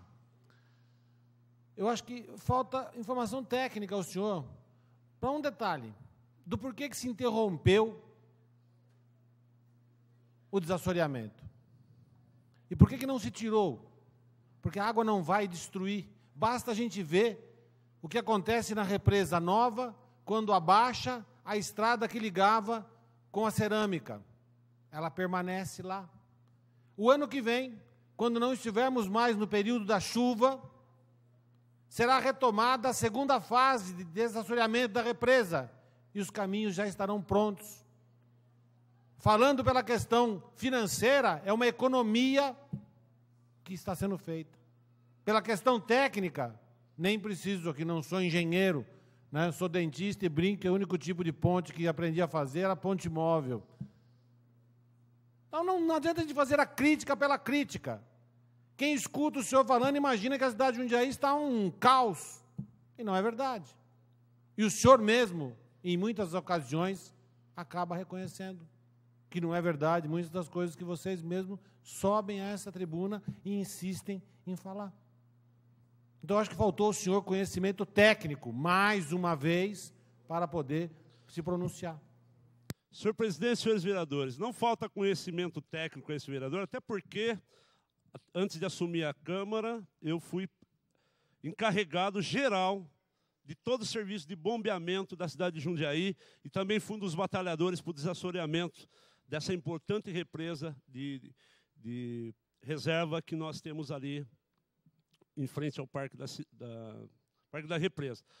Tanto é que não falta conhecimento técnico, porque quando construíram a represa nova, até cerca de arame farpado deixaram lá, inclusive num plantão meu, num sábado e num domingo, tive que me socorrer com caminhões da DAI para remover famílias, em função de que as famílias não estavam querendo sair de lá, em função de demanda judicial. E a DAI abriu as comportas, ligou todas as bombas lá do Atibaia, com ordem do superintendente na época, e as águas começaram a chegar nas residências, muitas inclusive que ficaram embaixo, de, embaixo da água. Então não é questão de manter a estrada lá, não, para mais tarde se usar a mesma estrada para fazer novo desassoreamento, coisa que ficou há mais de 60 anos para desassorear. Eu acho que na fundura que eles fizeram dava muito bem para ter removido isso, porque nós teríamos uma capacidade maior de reservação. E na represa nova, casas ficaram embaixo, é, galinheiros, cocheiras, cerca de arame farpado ficar lá, porque se tinha que inundar para o veleiro passear, para que a obra política, a grande obra política, uh, ficasse à mostra. É isso que acontece quando se pensa tecnicamente. Vamos largar a cerca, inclusive quando se encontrou dois corpos já lá, que os bombeiros demoraram dias para achar, estavam enroscados na cerca de arame farpado. Um, inclusive, sendo funcionário da DAI. Então, senhor presidente, eu quero encerrar dizendo da obra da José Mesalira, um assalto esperado há muitos anos pelos moradores e que está a toque de caixa. Foram feitas as galerias, as subulações, mas um pequeno trecho ainda que foi executado. Quando eles interrompem o trecho ali da Arcângelo Bianchini, eles não colocam placa para quem está chegando ali de como tem que ser o desvio para voltar na José Mesalira. Quem não conhece o local, e Vossa Excelência conhece o local, sabe como é difícil entender aquela Luperce de Carle, as, as ruas lá de dentro, se perde, senhor presidente. Eu liguei para o engenheiro Edson Graça, ele disse que ia tomar as providências e até agora nada. E sem contar que a Avenida José Mesalina vai ficar com 7 metros de largura, porque a prefeitura não teve a capacidade de conversar com os moradores e desapropriar ali, porque não vai ter trecho que nós não vamos ter calçadas. Me permite uma parte? Nós não vamos, só para concluir, não vamos ter calçadas. E, em contrapartida, desapropriou a área que era da DECA, ali para o empreendimento MRV, que vai ficar quase o dobro da Avenida José Mesalira. Nós vamos ter sérios problemas. Escreva o que eu estou dizendo hoje. Vai ter atropelamento, que as pessoas vão andar pela rua num trecho de 7 metros. Hoje os ônibus já, já correm em demasia. Quando assaltar, vão correr mais e vão matar pessoas ali que vão trafegar por ali, porque não tiveram a capacidade de conversar com os proprietários. Tinha trecho para desapropriar, os proprietários, tenho certeza disso, o Julião sempre está lá conversando com o Edro, o Edro também está indignado. Nós queremos que aquilo lá fosse alargado, porque se nós esperamos tantos anos, não era para sair do jeito que está saindo. Eu gostaria que desse uma parte para o nobre vereador Julião. Até, até porque dessa vez eu vou, eu vou lhe dar os parabéns. As mesmas dúvidas que o senhor tem a respeito da questão do trânsito, eu também levei à secretaria, espero uma ação da secretaria nesse sentido. Só acrescentando, eu só não, não, não concordo com essa questão de que nós teremos trecho na José Mesalira, onde nós não teremos calçada. Eu estive lá, vereador Carlos Kubica, no dia 20 de novembro, no feriado, andei um trecho junto com o Helder, junto com o engenheiro Cássio, junto com o topógrafo, que me some o nome agora, não me lembro, nós estudamos juntos na Industrial, acho que é Elcio, não, não vou me lembrar. Não, não vou. Não, não, não, não, não né? E nós, há já todo um estudo feito para sete metros de leito carroçável, que isso foi decidido juntamente com a, com a comunidade, e um metro e meio de calçada. Já conversado, vereador Carlos Kubica, com todos os lindeiros da José Mesalira, inclusive com alguns que não, não, não tinham como deixar do seu lado, se muda para a parte de cima ou para a parte de baixo, que o senhor também conhece aquela região, se fazendo alguns acertos de curvas, porque realmente, se não se deixar calçada, o senhor também terá razão, e eu também estou nessa batalha, porque nós teremos um problema muito sério de risco de atropelamento. Mas não é isso que vai acontecer e eu tenho certeza que nós teremos, no mínimo, 10 metros, 7 de leito carroçável e um metro e meio de calçada para cada lado, vereador. Se não, estarei junto com o senhor, lado a lado, para que isso aconteça. Tenho certeza que muitos outros vereadores estarão conosco nessa batalha. Senhor presidente, para concluir, já que meu tempo se esgotou, eu desconheço o tratado que houve entre os moradores e a prefeitura. Deve ter sido entre um grupo de pessoas que concordou em que o leito carroçável ficasse em 7 metros. Uma vergonha para uma avenida importante que interliga dois grandes municípios, Jundiaí e Campo Limpo Paulista. É, já estava na hora de se, de se rever essa questão, porque ainda dá tempo, porque foi colocado um pequeno trecho só de guias, dava para ampliar essa avenida tão importante e que há muito está sendo aguardado pelos moradores. Eram as minhas palavras, senhor presidente e senhores vereadores. Muito obrigado, vereador Carlão Kubitsa. Questão de ordem, senhor Questão de ordem, vereador Julião. Depois, acho que desse debate, em algumas partes bastante enriquecedores, eu gostaria de pedir ao senhor, pelo que eu estou vendo, uma verificação de quórum no nosso plenário, senhor presidente. Vamos então proceder à verificação de quórum. Agora sim, vamos registrar.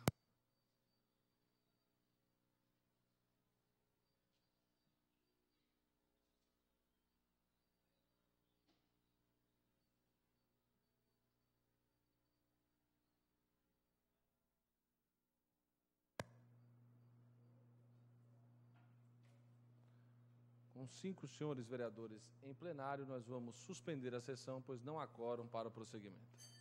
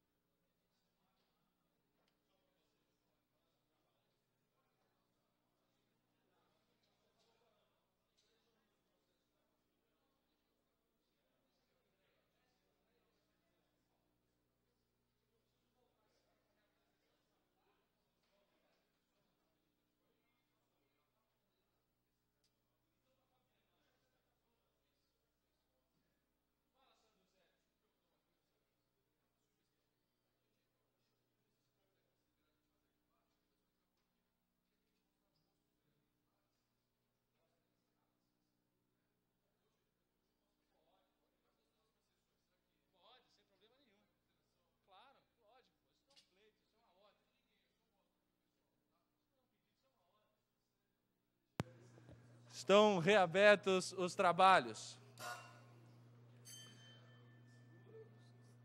Vamos registrar novamente a presença para a possibilidade do prosseguimento da sessão.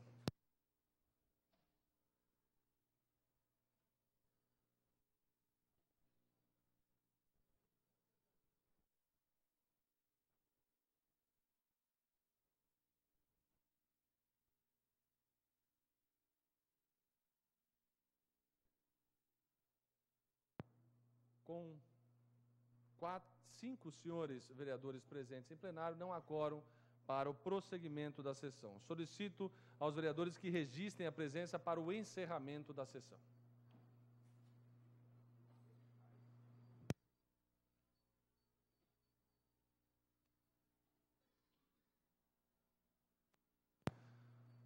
Com cinco senhores vereadores presentes, e 11 senhores vereadores ausentes, sob a proteção de Deus, declaro encerrada a presente sessão ordinária.